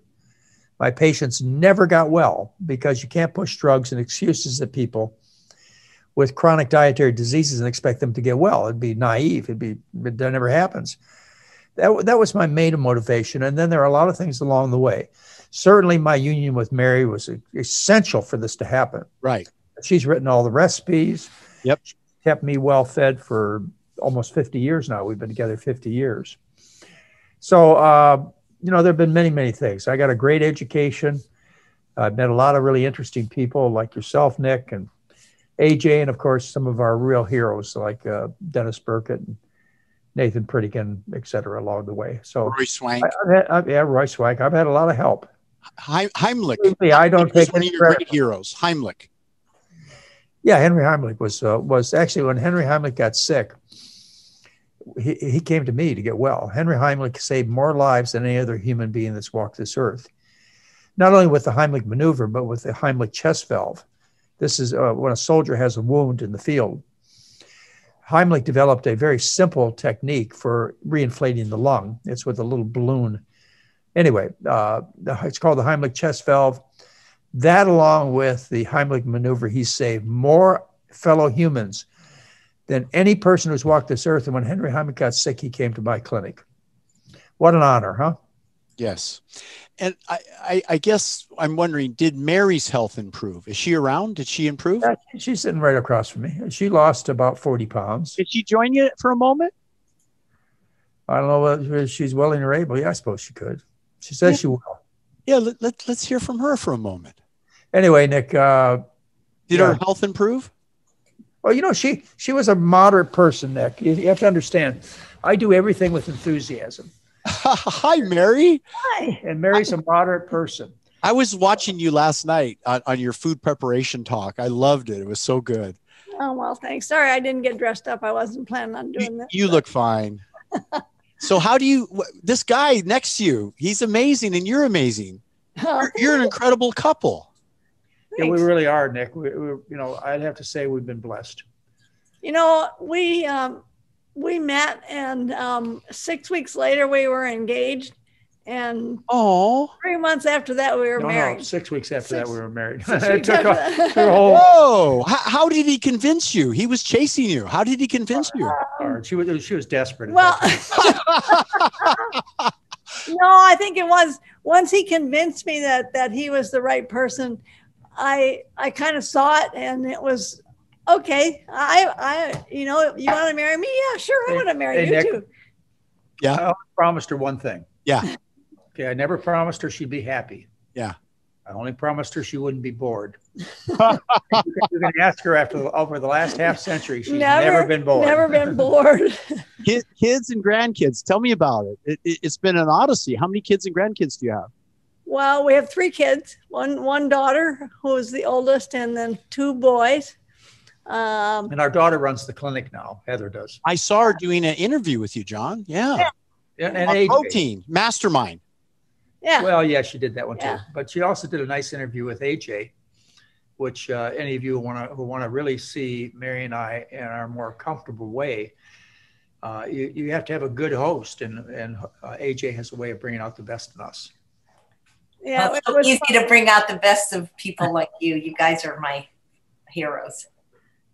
Chef. AJ, what's your story with your your husband? What what Oh happened? my God. I, my husband has the same personality as Mary, calm, lovely, love non-argumentative. Uh, you know, just really because I, I'm I'm kind of cut from the same cloth as Dr. McDougall, and I, I take Me that too, right? We're we're all kind of aggressive, right? Yeah, pretty much. You know, um, uh, maybe a kinder, gentler version. But he, you know, I wish he. would I mean, people. He just doesn't like to be in front of the camera. Charles. Charles. Oh, let's get Charles on. I, I, and yet he's able to do stand-up comedy. So go figure. I mean, that's a little bit different, I guess. But he just, he, I guess, you know, just, I What I love stand-up comedy. Oh, uh, I didn't know that, AJ, that Charles was a stand up comic. You know, we often had at our weekends, our advanced study weekend, we often had a comedian come in. And some of them were rather famous people, but, you know, they provided a little entertainment during the weekend. Of course, when Nick was there, we didn't need any extra entertainment. He was just unbelievable. Uh, you know, Nick, I'll, Yes. I- I'll never forget, and I and I don't give you this as an idle compliment. You absolutely shocked me, the presentation you gave in front of that crowd, and I, wa- you know, I was very impressed by your athletic abilities. And uh, you're the kind of guy that I am, just like you said. You're not out there to win a popularity contest, but you certainly made a statement. Yeah, the o- owner of Whole Foods had a, a a feeling about me. Yeah, he wasn't very happy. Uh, John Mackey thought that you were kind of a kind of a, well, maybe an entertainer. I don't know. You know, but I listen. John Mackey's opinion of other people doesn't hold a lot of weight with me. So you don't you don't have to worry about it. I, I don't make my judgments based on other people's opinions. You once mentioned you you thought that was one of the better talks you've heard uh, that I presented that day. Well, it certainly was the most entertaining, Nick. Uh, no, no question about it. The most surprising to Uh-huh. me and the crowd, and the most entertaining talk that I could think of during the whole presentation. We had, you know, lots of famous people come. Yeah. Computer head of the Blue Zone Diet Program, and you know, we had a, a lot, a lot of stars out there, but no one will will have hold a place in my mind uh, more exciting, more dramatic, more surprising than what you did on that stage, Nick. If you told me beforehand what you were going to do, I would probably said no. Mary, did you see that talk too? Because I, I I knew you were there. Yep, I remember it also. You Was- do? What was your feelings about it? Oh, I loved it. You did? Yeah. I loved it too, Nick. I, I you know, I, especially the entertainment value. And If you didn't even make the point that somebody at your age uh, could have the physical strength that you have because of you're eating a vegetarian vegan diet, I, I don't know how better you could make the point. You know that that was a live demo and a very energetic live demo. And you don't look a bit older than you did then. you know, a guy like Andrew Taylor, the the Spud Fit guy, he can come on and make a very impressive story as he did. But all you have is before and after pictures. With you, it was you know an hour of dynamic entertainment. It- It's still one of my highest viewed talks that we did at your stage. And your crew did such a great job following me. I was all over the place, right?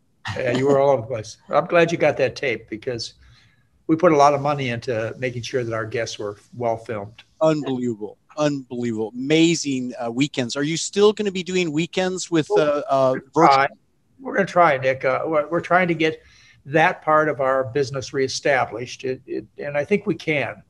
I think we can do more effective, uh, certainly less expensive advanced study weekends. We also may go back to celebrity chef weekends. But we'll, never Ah, do our, we'll never do our we'll never do our adventure travel business. Well, we took groups of uh, yeah. 80 to Costa people. Rica. Oh, Costa Rica, Panama. Wow. Hey, Chef AJ, go grab Charles. Come on. I'll try. I'll try. Him. John and Mary, wh- what's it like raising kids in this generation? How, how did you guys get through raising them with everyone against us for the food, the school lunch programs, and and you know all the negative information? How'd you? Did they come around and some didn't quite make it? Know, all of our kids were raised this way.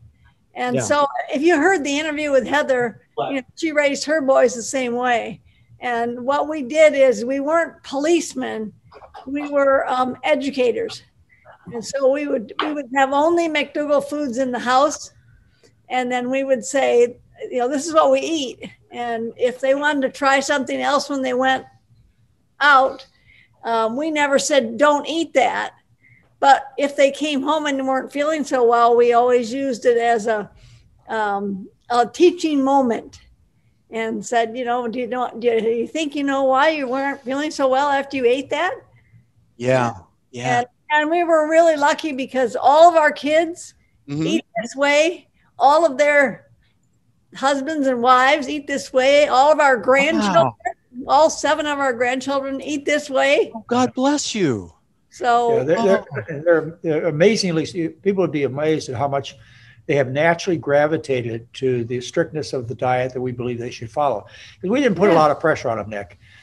we just kind of told them. And of course, they were very involved in our practice. They went around the world with us uh, when we gave lectures and were very involved in all kinds of parts of our business. our daughter, our daughter's kids are now 12 and 14 and 17, and they're really strict too. This this is the way they eat. And they're also the fastest kids in the class, Yeah. the whole school. Hey, Charles. And, and physically, uh, are they runners? They're, they're all kinds of athletes. Right now, they're up at, uh, at North Star uh, snowboarding. They're, they're ex- excellent snowboarders. Wow. So they can do any sport uh, that they've They been like basketball and skateboarding, and um, yeah. Yeah, John, you, you're a windsurfer too. I've seen you windsurf. yeah, I do. I do. I did. I do. I, I haven't been out in a while, but that, that hopefully will change this summer. I'll be back out again. Hey, Charles, I see you on the set with Chef AJ. Yes, yes. Give us- give- give us a little- I give us- hello. Give us a little uh, stand up here, a little, just just a, a glimpse of one of your, your, your shows. Come on, roll it in, man. Oh, put him on the spot. Yeah, well, at least, yeah, no pressure there. No, we could just talk about, you know, what's going on with our, our life at the time and we complain, that sort of thing. Yeah, You know. we live in a, a, a gated 55 and older community, and we're a little bit different than a lot of the people there, as you can imagine, because there's like, there's like only a couple of vegans there, and uh, So, so we'll be um, working all day. We work from home, but then like other people, they'll stop by, they'll drive up their little golf carts and want to know if we can come out and play. You know, they'll can, wave. can we go? You know, they want to play golf and pickleball, Pickleball. and and they're doing you know doing all their things. So, so we're not quite quite Yeah, there yet. it's it's Yeah. funny. It's very funny, but I can't, I can't quite see you guys playing pickleball. well, that's how I tore my rotator cuff. I played three hours, and it's Yeah. it, it's it's really really fun actually, and I haven't Yeah. been able to play for over a know year. Yeah. But but uh, Dr. Delgado, Charles, like Mary, Charles has never had a weight problem even before he was vegan. He's always been a tall drink of water. He can eat anything and still, you know, be be thin. But he chooses to eat the way we eat because he says it makes sense. Who who chased who, Charles or Chef AJ? And I went after him. I asked him. Yeah, yeah. tell us the details. What happened? Oh my God. All right. So um, I was taking a vegan cooking class in August of nine, 1992. And his sister, who's also a vegan chef, Elaine Shrewsbury, who has a, a vegan baking business in Arizona, she was the teacher. And that December of 1992, I sent her a Christmas card with myself and my dog, whose name was Scooby, on it. And she sent me a Christmas card back with a whole family on it, probably 20 people, different ages. And, and I, I, I, I called her and I said, Well, who's that guy in the card? And is he single? And it was him. And I'm the one that made the first move. Good for you. I love Yeah. that. Well, Charles, how did you receive that? She came on to you. What ha- what happened? Yeah, well, I was uh, no, my um, Were you I- I- clueless? Did you know what was going on? Yeah, actually, my uh, sister had sent me a picture of her, and I was going to call her, but she just called me before I could call her. So, But I was fat. How did you go out with me when I was so fat? uh, What's your personality, the Yeah. AJ? yeah. Well, oh. Mary, Dr. McDougall said he was 100 pounds more. He was only about 50, right? He was never real. I mean, he- No, he was. No, I don't. I don't ever remember him as being 100 Yeah. or 240 pounds, No, I was two, I was 228. Two, but only for a very short time. Well, yeah, long enough to, yeah. Yeah. And, and then I, and And my then lowest, my lowest weight has been 128. oh my goodness. But, you know, those were under some unusual circumstances. Yeah, my, my highest weight was uh, about approaching 210 at five foot eight.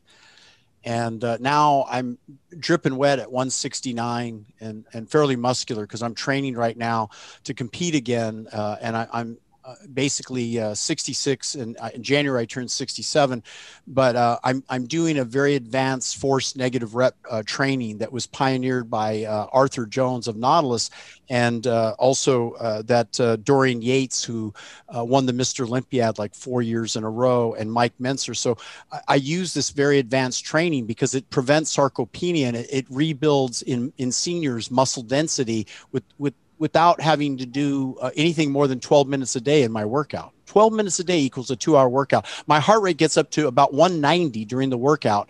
And um, uh, my, my uh, respiration rate, my max VO2 is improved. And so I can jog with the best of joggers, even though I don't like, I don't jog. I go to the beach and I work out at the beach, but um, I, I, do the training, but I have to have a training partner. So I have five young people that uh, cycle in to work out with me.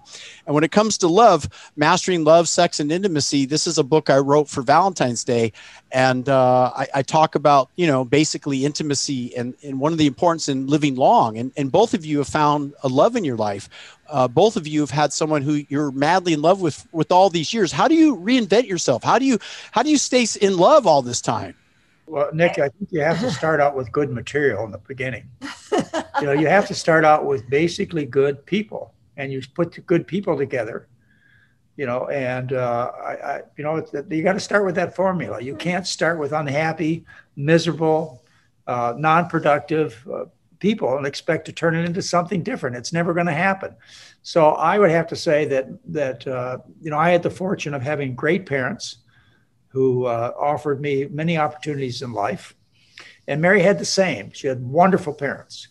And uh, I think that's the reason why when we got together, we did so well. We have done extremely well. And Nick, don't think that we haven't had any bumps along the way. We've had our share of stories we can tell you. yeah, tell us, tell us. you want the juice. Not unless you one. How about tit for tat? You can tell me one. There you go. let, me, let me think of one. I will. Can you think? Oh, right. Well, if you can't think of one, then you didn't have any fun in life. That's all I can say.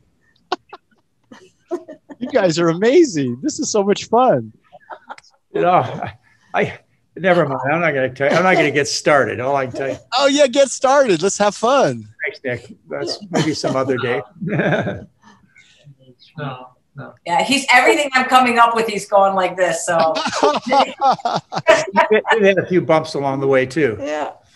Anyway, it's it's not it's not been boring. We've had a great great time together, and we plan on having another maybe 20 years together. Yeah. Hope and, so. And, and Charles, you know, what is it about Chef AJ that you love? Well, she's very uh, energetic and fun, and um, yeah, just fun. I would say. And beautiful. Does she tell, does she tell jokes at your expense? Uh, sometimes, yes. I'm sure she's never boring, right? Right. Yeah. How do you keep her entertained? The only thing I ever promised Barry is she'd never be bored. Yeah. And she could she could spend I could, I could a couple spend, days telling y'all yeah, she's never been never bored. been bored. Charles, Charles, how do you keep Chef AJ entertained? Oh, well, I don't know. I mean, you know, we, we try and we try and do fun things together. You know, whether it's you know we were playing pickleball before her injury, and you know we try and do things. But we're, we're going to go to an escape room this week for my oh, birthday. It's like they, are going to lock us in a room. Yeah, and you have to try and escape. Yeah, try to get out. Yeah. yeah. Oh well, yeah. I, would, I would I would hate that. Yeah. he didn't want to go either, but once in a while he does it. Yeah. It was either that or do one of those soaks where you're in the eight eight pounds of salt, you know, like a couple soaks. Oh, yeah. yeah, with all the lights turned off and yeah. you get claustrophobic. So we decided to do the escape know, room. This is my room. I celebrate my birthday the whole week. So yeah, that's yeah. what we're gonna do. So Nick, I hate to say it, I think this conversation has been deteriorating to the point where you're losing half your guests. no, no, no. We we have them. We have them. They're here it's all good. We do have some questions from the audience. So how how do they get? Uh, uh, you know, these are the questions that we get a lot of. But the vitamin B12, the omegas, the vitamin D, uh, the loss of cognition. How do you prevent uh, prevent that? And how do you prevent long term deficiencies? What, what, what do you do, uh, John and Chef AJ? What what do we do to uh, help support that B12, the omegas, the vitamin D? I recently had an omega fatty acid test done, and you know I, I'm I'm making efforts to increase my omegas from the whole plant based foods. But what, what, what is it we need to do in, in these areas? B12, omegas, and vitamin D. And I know, Mary, you often step in to help uh, make sure John gets his uh, nutrients uh, uh, met, right? Sure, my palate is met. Yeah. She does a great job cooking. I don't worry yeah. about I don't worry about nutrients. I just worry about feeding him stuff that he likes. You know, you know, Nick, it's just so backwards as far as people's understanding the diet that you and I eat, that AJ teaches to her classes, is the most nutrient dense diet there is.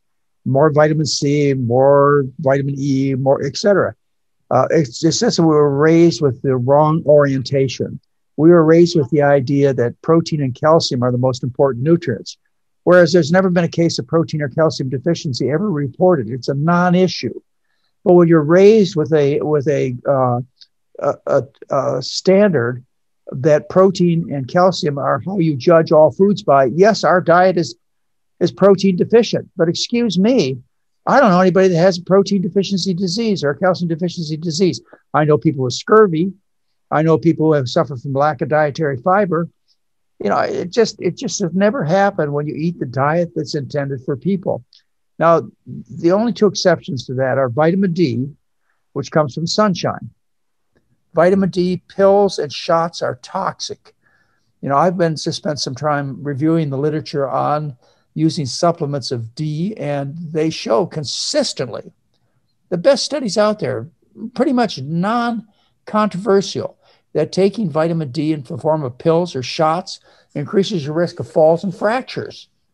You know, look at look at last month's uh, issue of the Annals of Internal Medicine. They they go into this in great detail this is a lie. Where do you get vitamin D from? It's called the sunshine vitamin. B12 cholesterol under the skin converts into vitamin D, as Pritikin often would say. What you want to do is is B12 is a whole other issue. Uh, you want to read the couple of articles I wrote on my website on B12 to understand the issues. It's it's extremely rare, but it has to be dealt with the idea of B12 deficiency. And I've dealt with that in two major articles. Or in the book, The Starch Solution, there's a chapter on it too. Yeah, and I, and I wrote about it because I've been looking at blood for about 44 years, and under the microscope, you can see uh, various forms of pernicious anemia and ovalocytes and the uh, iron deficiencies, microcytes, and you know, having studied Guyton Medical Physiology and Merck's Manual and all the textbooks and studied with some of the top blood hematologists, it is a legitimate concern. And so, but animal eaters can have B12 deficiencies, intrinsic factor. They could have an issue of, of absorption. Uh, certainly, if they're eating a lot of dairy product, they could have anemia, right? I mean, these things uh, are, tr- are, are reality. The way I dealt with it over 40 years ago, and the way I still deal with it is, is we recommend that people take a non-animal source of B12. And that way you cover all arguments, uh, even though the risk of getting B12 deficiency as a disease is, le- is less than one in a million. You have fewer than a one in a million chances of getting the disease from B12 deficiency. And you know, you have a one in two chance of dying of heart disease, a one in seven chance of getting breast or prostate cancer. So you know, put it put it in perspective. But anyway, that's the way I deal with it. Is I've always recommended a B12 supplement. Uh, if you follow the diet, I recommend just to cover all issues. But the details are on my website, drmcdougall.com.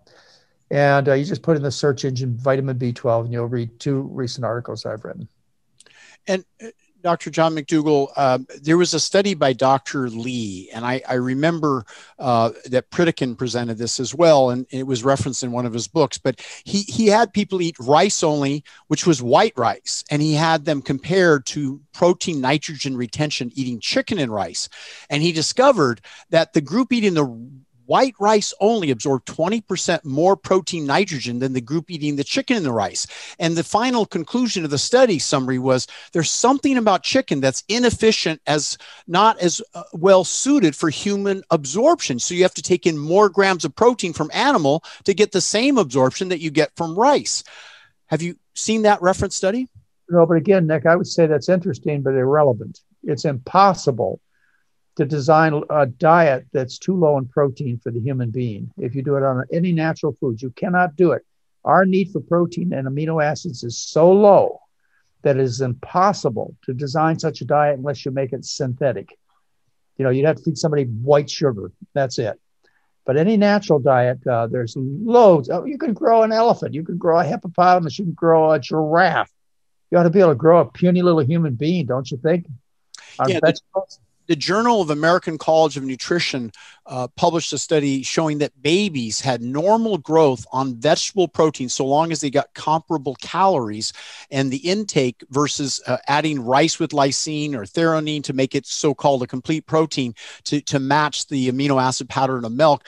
And i know dr reddy showed studies with infants where they otherwise would have starved in india and they were uh, basically just added calories from the rice only or, excuse me potatoes only uh, and and wheat only and the, the children grew, grew to full size during the most rapid growth rate period of their lives. So it's really a calorie deficiency. They're starving in some of these countries. They're not uh, de- de- deficient in protein. They have to have enough calories to have a protein sparing effect because starch has a what, what's called a protein sparing effect meaning the starch goes to calorie needs of the brain and the muscles and the body and the whatever little proteins in the potatoes and the rice and fruits and vegetables goes to your repair and your protein needs. Is that how it works I'm sorry, Nick.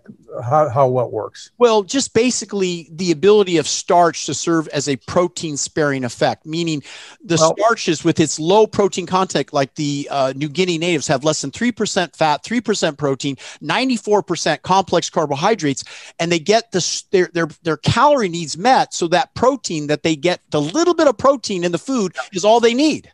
Well, again, you know, that's one of the excuses people used for along the way saying, trying to tell the truth about something that is so obvious. You can't design a diet that's too low in protein. What they say is that the reason that you can do this on vegetable foods is because of the protein sparing effect of, of calories.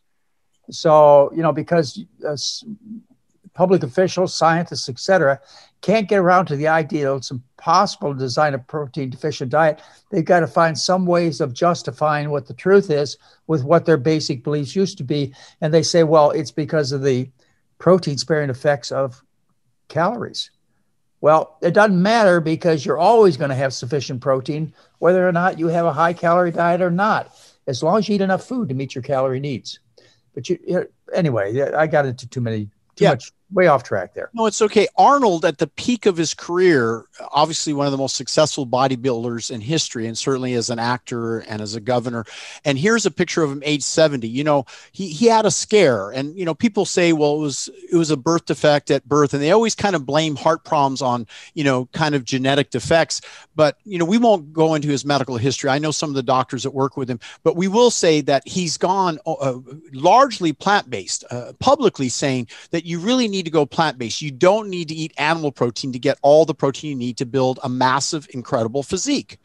No, that's coming from Arnold. He even said milk is for babies. And he early on, I have his book on my shelf here where he autographed and he said, You do not need here, I, I, I, have it right here, right, right from Arnold Schwarzenegger himself. And in the book, he, he says this he says, You do not need any dairy product. Uh, Arnold, The Education of a Bodybuilder. And then this incredible book that, that he, he produced, Arnold Schwarzenegger, Encyclopedia of Modern Bodybuilding all of the history. And by the way, Ray uh, Ray Wilson, who, who's uh, 92 years uh, young uh, in, in, my coaching program, um, I've got him on a plant based whole foods diet. And he works out three times a day.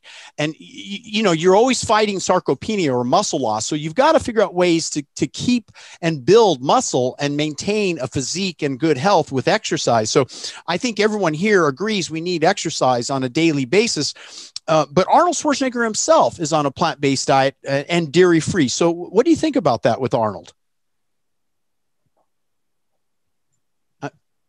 What's that, John? He's he's muted. He is muted for some I say, reason. are you asking me? Yes. Well, you know, Arnold's gotten wisdom. That's all. I mean, Arnold's very concerned about the environment these days, and you know, he realizes uh, what the truth is about uh, all these high protein diets that he's been involved in, and maybe maybe some of the other ancillary treatments being involved in to gain a big muscle mass. And you know, he's getting older, and he realizes he's got to take better care of his body. I think mainly Arnold's, as far as I know, and I really am not an expert on this. I think Arnold's main motivation for changing his own personal diet is he's worried that we're not going to have a planet left. And we're not going to have a planet left in 30 or 40 years, ladies and gentlemen. So get prepared because of protein. And protein has a problem on the environment in terms of the greenhouse effect. Briefly because, explain that. Well, Nick, it's because protein in most people's mind means meat, uh, particularly beef. You know, that's what they associate, and it's beef, particular in particular, but all livestock. Uh, beef is probably worst. Farm fish is second worst. You know, then you're dealing with uh, poultry, or and then pigs. Uh, you're you're you're dealing with all animal products being destructive to the environment for various reasons. Uh, they produce an awful lot of methane. You've heard about the methane farts and burps. Well, that's only part of it. Uh, it's tremendous wastage in terms of water resources, land resources, a tremendous amount of destruction in the environment. You know, Nick, that just last week they announced that the uh, Amazon rainforest, for the first time, is, is, is no longer a carbon sink. In other words, it's no longer a part of the world where they absorb more carbon than comes out of that part of the world. Because of the destruction of the forests, mainly to grow burgers, beef, we've got ourselves in a situation where uh, one of the few opportunities we had to save the planet is gone. And that's the, the rainforests in South America. Wow. And, you know, I think Pritikin, as an engineer, was a visionary. He was an inventor. He never claimed to be a medical doctor. He was not Dr. Nathan Pritikin. He was Nathan Pritikin. And uh, his ability to analyze situations and, and apply logic to so much of this and he combed through so many medical journals. He, he shared his entire medical library with me. I don't know if you know that. And i've been trying to kind of pull everything together and start uh, imaging digital imaging. And i did send you one of the books of his nutritional uh, experts that worked with him uh, Nan Bronfen did you receive that book i sent you? You're muted. John? I say i say it's been a while yeah, but I sent you a book, Nan Bronfen, about a, a year ago, nutrition. Oh, that for, for me, that's a while, Nick. I, have to, I, I have to check and, and see what I got it around still. Yeah, yeah, yeah. But but the point is, you know, we, you and I also, you know, probably have this in common uh, with with Nathan Pritikin, who's shown here. People may not know our origin, but I wrote this book live read this book live longer now. And that for me was a turning point after i saw him lecture at pasadena california for an all day lecture. And at the end i showed him my before after picture just following this book. And he hired me to come work at the pritikin longevity center based on my results having dropped 50 pounds uh, you know following uh, th- this kind of a program. So you know I, I'm, I'm kind of one of these guys that just I seek the best, and that's why I've always kind of pursued your work and everything that's going on. I know you have a personal knowledge also of Steve Jobs. Uh, how did that go about in terms of knowing that here he was a, a plant guy um, following a vegetarian diet, but was it a healthy vegetarian diet? And what happened in the computer industry that exposed him to toxins that might have caused his pancreatic cancer? Actually, a long story that's gotten a million hits on YouTube. It's Why Did Steve Jobs Die? Yes. You'll find uh, you'll find the lecture I gave on that on YouTube, and you'll also go to my website, drmcdougall.com, and my November 2011 newsletter is a full discussion with all the references. And what it turns out, my conclusion of the whole situation is Steve Jobs worked for Hewlett Packard, got exposed to some uh, uh, metals in particular that cause pancreatic cancer in his 20s, he developed pancreatic cancer. He didn't die till age 56. And his cancer was very slow growing. It took 20, 25 years for the cancer to grow from a uh, initial tumor cell to a full body of cancer that killed him. Along the way, he got some of the worst medical care that you could imagine by uh, doctors who are typical doctors. Let's just leave it at that. But he got he went through unnecessary surgeries. He was belittled as far as his eating practices go. When I believe that the way he ate is the reason he lived 25 years with pancreatic cancer. Uh, anyway, some terrible things happened to him because of of the people around him, the doctors in particular. And uh, you know, he ended up actually changing from a vegan diet because he got so much pressure from his family and his physicians. He gave up his belief that you should eat a vegan diet for ethical reasons and to save the planet. because he was told that the reason he was in so the health he was in was because he didn't include animal foods in his diet. And I'm sure it was emotionally very hard for him to spend a lifetime as a vegan. And then in the last few days and weeks of his life, he was forced to eat animal foods. Must have been horrible. Anyway, that whole story is up there.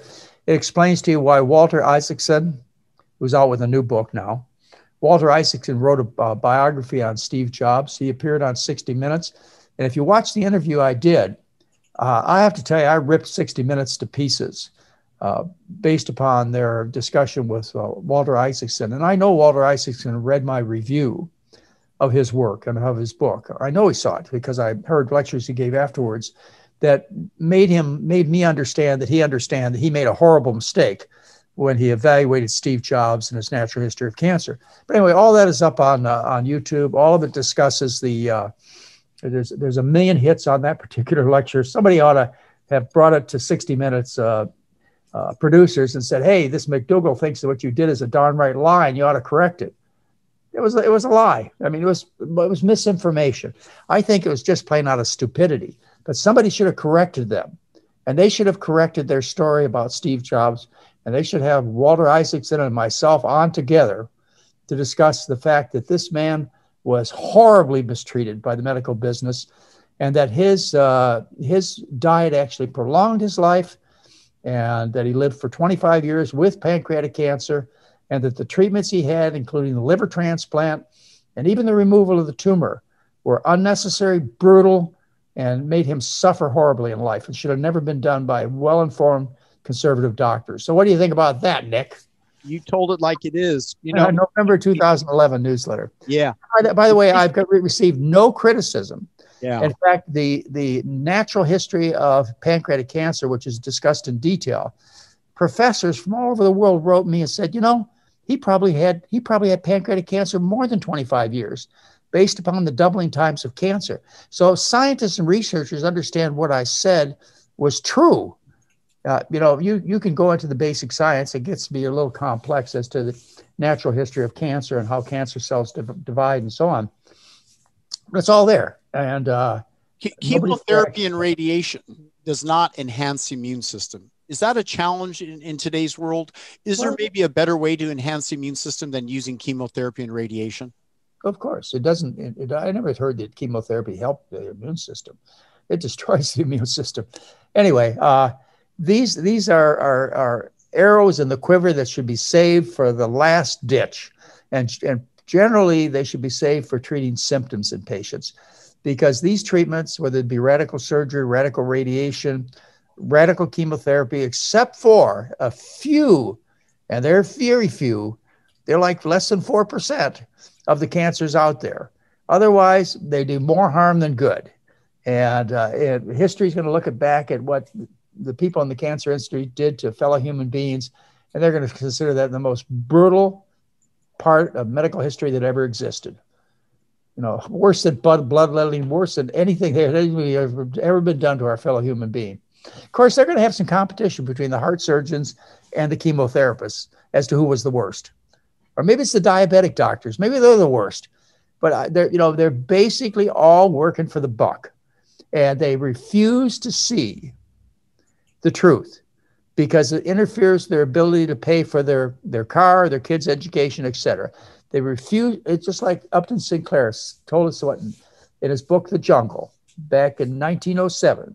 He said, A man is incapable of seeing the truth if it conflicts with his salary. Wow. Okay. So, uh, you know, it's that's the problem is my colleagues, well trained, you know, basically good people, uh, they do what other people do, which is they make money. And that's what they do most, best, and most, regardless of whether it helps or helps or hurt their fellow human being. It'd be nice if it helped their fellow human being. That'd be a great business, like the one I'm in. No, we're telling you to eat potatoes, or the one AJ's in, telling you to eat potatoes and rice.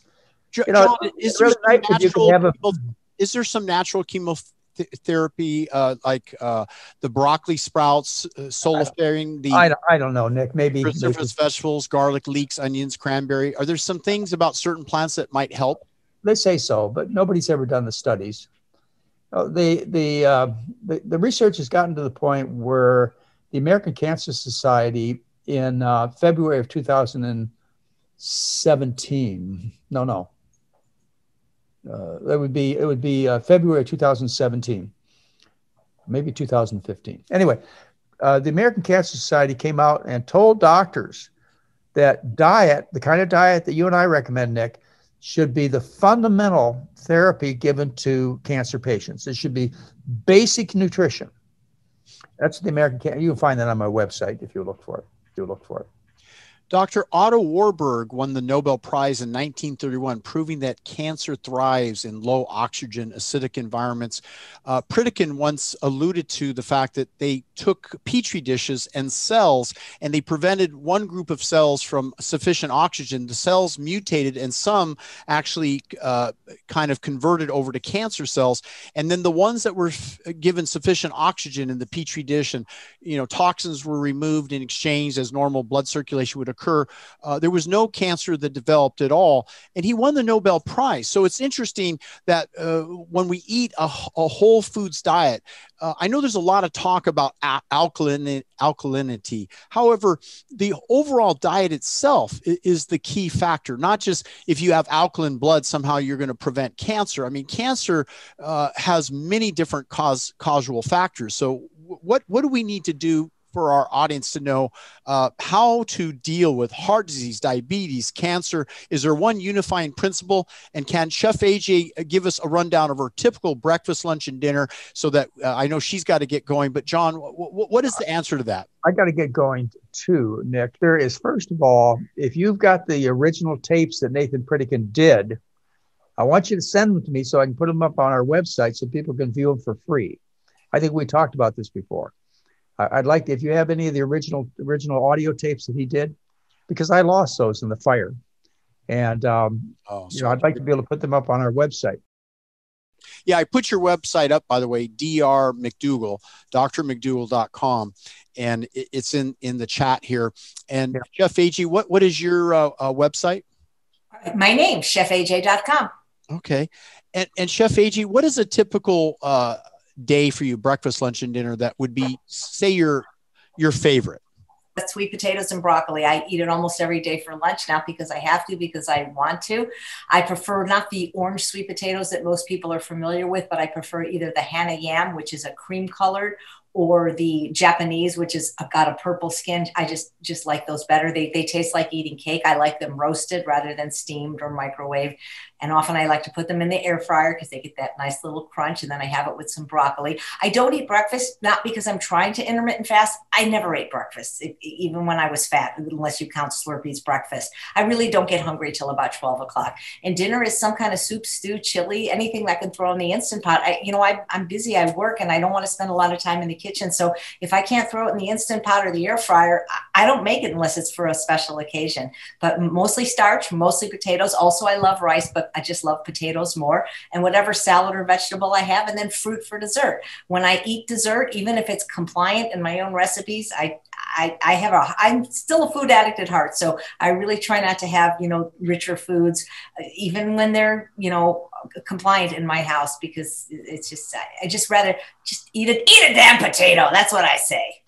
And Chef AJ, I know there's proof that the longest lived people in the world in Okinawa eat a lot of purple sweet potatoes and oranges and things, right? And and the Seventh Day Adventists have a very long life here in the U.S., even though they're under as much stress as the rest of us. Asian Americans uh, live long, and in the USA, Latinos eating a lot of beans helps a lot. But I know I read something where the average person barely, even at the high end, eats about five pounds of beans per year, but they eat two, 120 pounds of meat and 100 pounds of sugar. So why are people afraid of eating beans? What do you do to get rid of the gas for beans? And is gas deadly? I mean, you you just have to get used to that biodiversity and the transition the gut goes through, right? What what do you say about beans and how important are they into healthy uh, eating? Well, I don't eat them because they give me, I mean, I have a terrible time with beans. What I'm going to learn to do now is I just for my birthday got these sprouting jars and I'm going to start sprouting lentils and see if I can tolerate them that way. So I don't, and I, Dr. McDougall can correct me if I'm wrong, but I don't believe there's one particular food or one particular starch you must eat. I don't believe that you have to eat beans or nuts or you'll drop dead. I don't eat either. I'm not dead.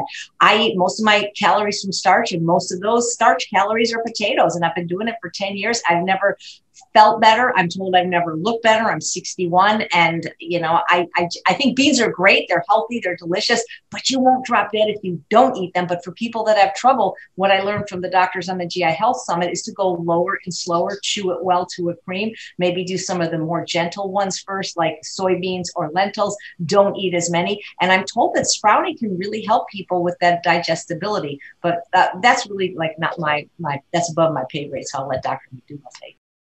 Yeah, I eat beans uh, cooked in water, frijoles de la olla, and I go to Mexican restaurants and I order it all the time. I, I have 15 bean salads. I love beans. I know early on there was this period where I was transitioning from an animal centered diet, even though, uh, you know, I, I, I loved beans. I thought, God, I'll just switch over to beans, rice, fruits, and vegetables.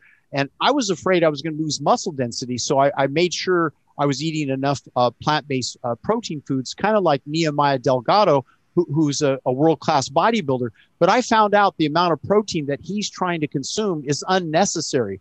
I uh, literally uh, was trying to lower my cholesterol. I got off chicken and fish, and I thought I was going to lose my muscle density. Little did I realize that I got all the calories and protein I needed from potatoes by themselves or vegetables and greens. I didn't have to eat beans, I just like them. So, John, what do you do about beans? I know Mary makes you beans, right? We actually have some beans for dinner tonight. And uh, Neither one of us have a problem with beans and gas, but if you do, as AJ mentioned, is you can always sprout them. That gets rid of the sugars that people can't digest, and she should be able to tolerate them quite well. Thorough cooking helps. Uh, beans are an interesting part of the diet. They're a little bit more solid, and so people have an easier time transitioning to uh, a diet with a lot of beans in it when they go from a diet with a lot of animal foods. It's it's a nice transition food and tasty food, and you can get too much protein from beans but it's pretty hard to do, you know. So, yeah, and Mary cooks her beans a long time to make sure they don't have gas in them. Yeah, so I soak them overnight and discard the water, and then and then I cook them in a crock pot uh, for over a couple days, and and that usually always takes care of it. If, if you like beans with spices and things, and I put a lot of vegetables with my beans too.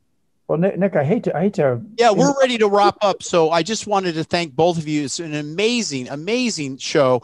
Thank you for being uh, up close and personal. Thanks for Mary joining us. Thanks, Chef AJ, for uh, bringing Charles on. I've never seen Charles. This is great. I, I, I want to have him send me a little clip of his stand up because I love stand up comedy. You guys have just been outstanding, amazing, and I, I love you both. And please sp- spread the word every day of our life. We've got to save lives. And like uh, Heimlich uh, maneuver, but I think, John, in the long run, you're going to be responsible for saving more lives than any doctor in the history of our world. Uh, and, you know, carrying forth the words uh, from Nathan Pritikin. And I'll continue to share everything I have. I have the only video of 60 minutes where uh, Nathan Pritikin, R3 patients, and I'll share that link with you if you haven't seen it. Nick, really, I tell you, I have a lot of visibility uh, uh, because of our website and our presence. Yes. So any interesting material you have, I have a whole section on Nathan Pritikin. Okay, we'll, we'll backlink to my site, nickdelgado.com, and then that way, basically, we'll be able to share all this great information. I'll make sure I put it in a, se- a special section, so when you backlink, then you know every one of us we will all be able to share the truth about what our origin is, our history with where Pritikin used to bring Dean Ornish and not Dean Ornish, excuse me, he'd bring Denis Burkitt and Hugh Trowell and uh, Ernest Wynder, and I think you knew Ernest Wynder, did you? Over for dinner at least once. Oh wow, how fantastic! I, I, I, you know, as I say, I grew up in a time when people were just pioneers in this whole thing. Yeah, so I got, a, I got a lot. I got a chance to meet a lot of the people who really uh, deserve credit for this. Yeah. But anyway, Nick, yeah, I'd, I'd, like to share the things that you've had. We've talked about this before, so uh, we'll move forward. We'll do it. in a, a, form that fits on our website. Uh, I'd like to give as much honor to Nathan Pritikin as I possibly can. Yeah, and Chef AJ, who, who's your guest next to you? Yeah, this is Bailey. So she just wanted to say hi. Isn't she cute? Well, I hope I hope we got all everybody's questions answered. It was sure fun to be with you. We did. It was an amazing show, and we'll share it with as many people as possible. Thank you both so much. Be well, be strong, and and let's uh, move into that next uh, segment of health and well-being. I know you both are very busy people. You've shared incredible amount of time, energy, and effort, and really knowledge. And and I, I want this to be something for people to know that every generation can live longer, healthier, and better if you start now. Don't wait. Get started now. Make those transitions immediately. And as you do, ask us questions. We each have a website that we can share with you. We have a, a coaching program that we've opened up for people. So, again, thank you, Chef AJ. Thanks, uh, John McDougall. Looking forward to having you both on the show again as soon as possible. Thank you so much.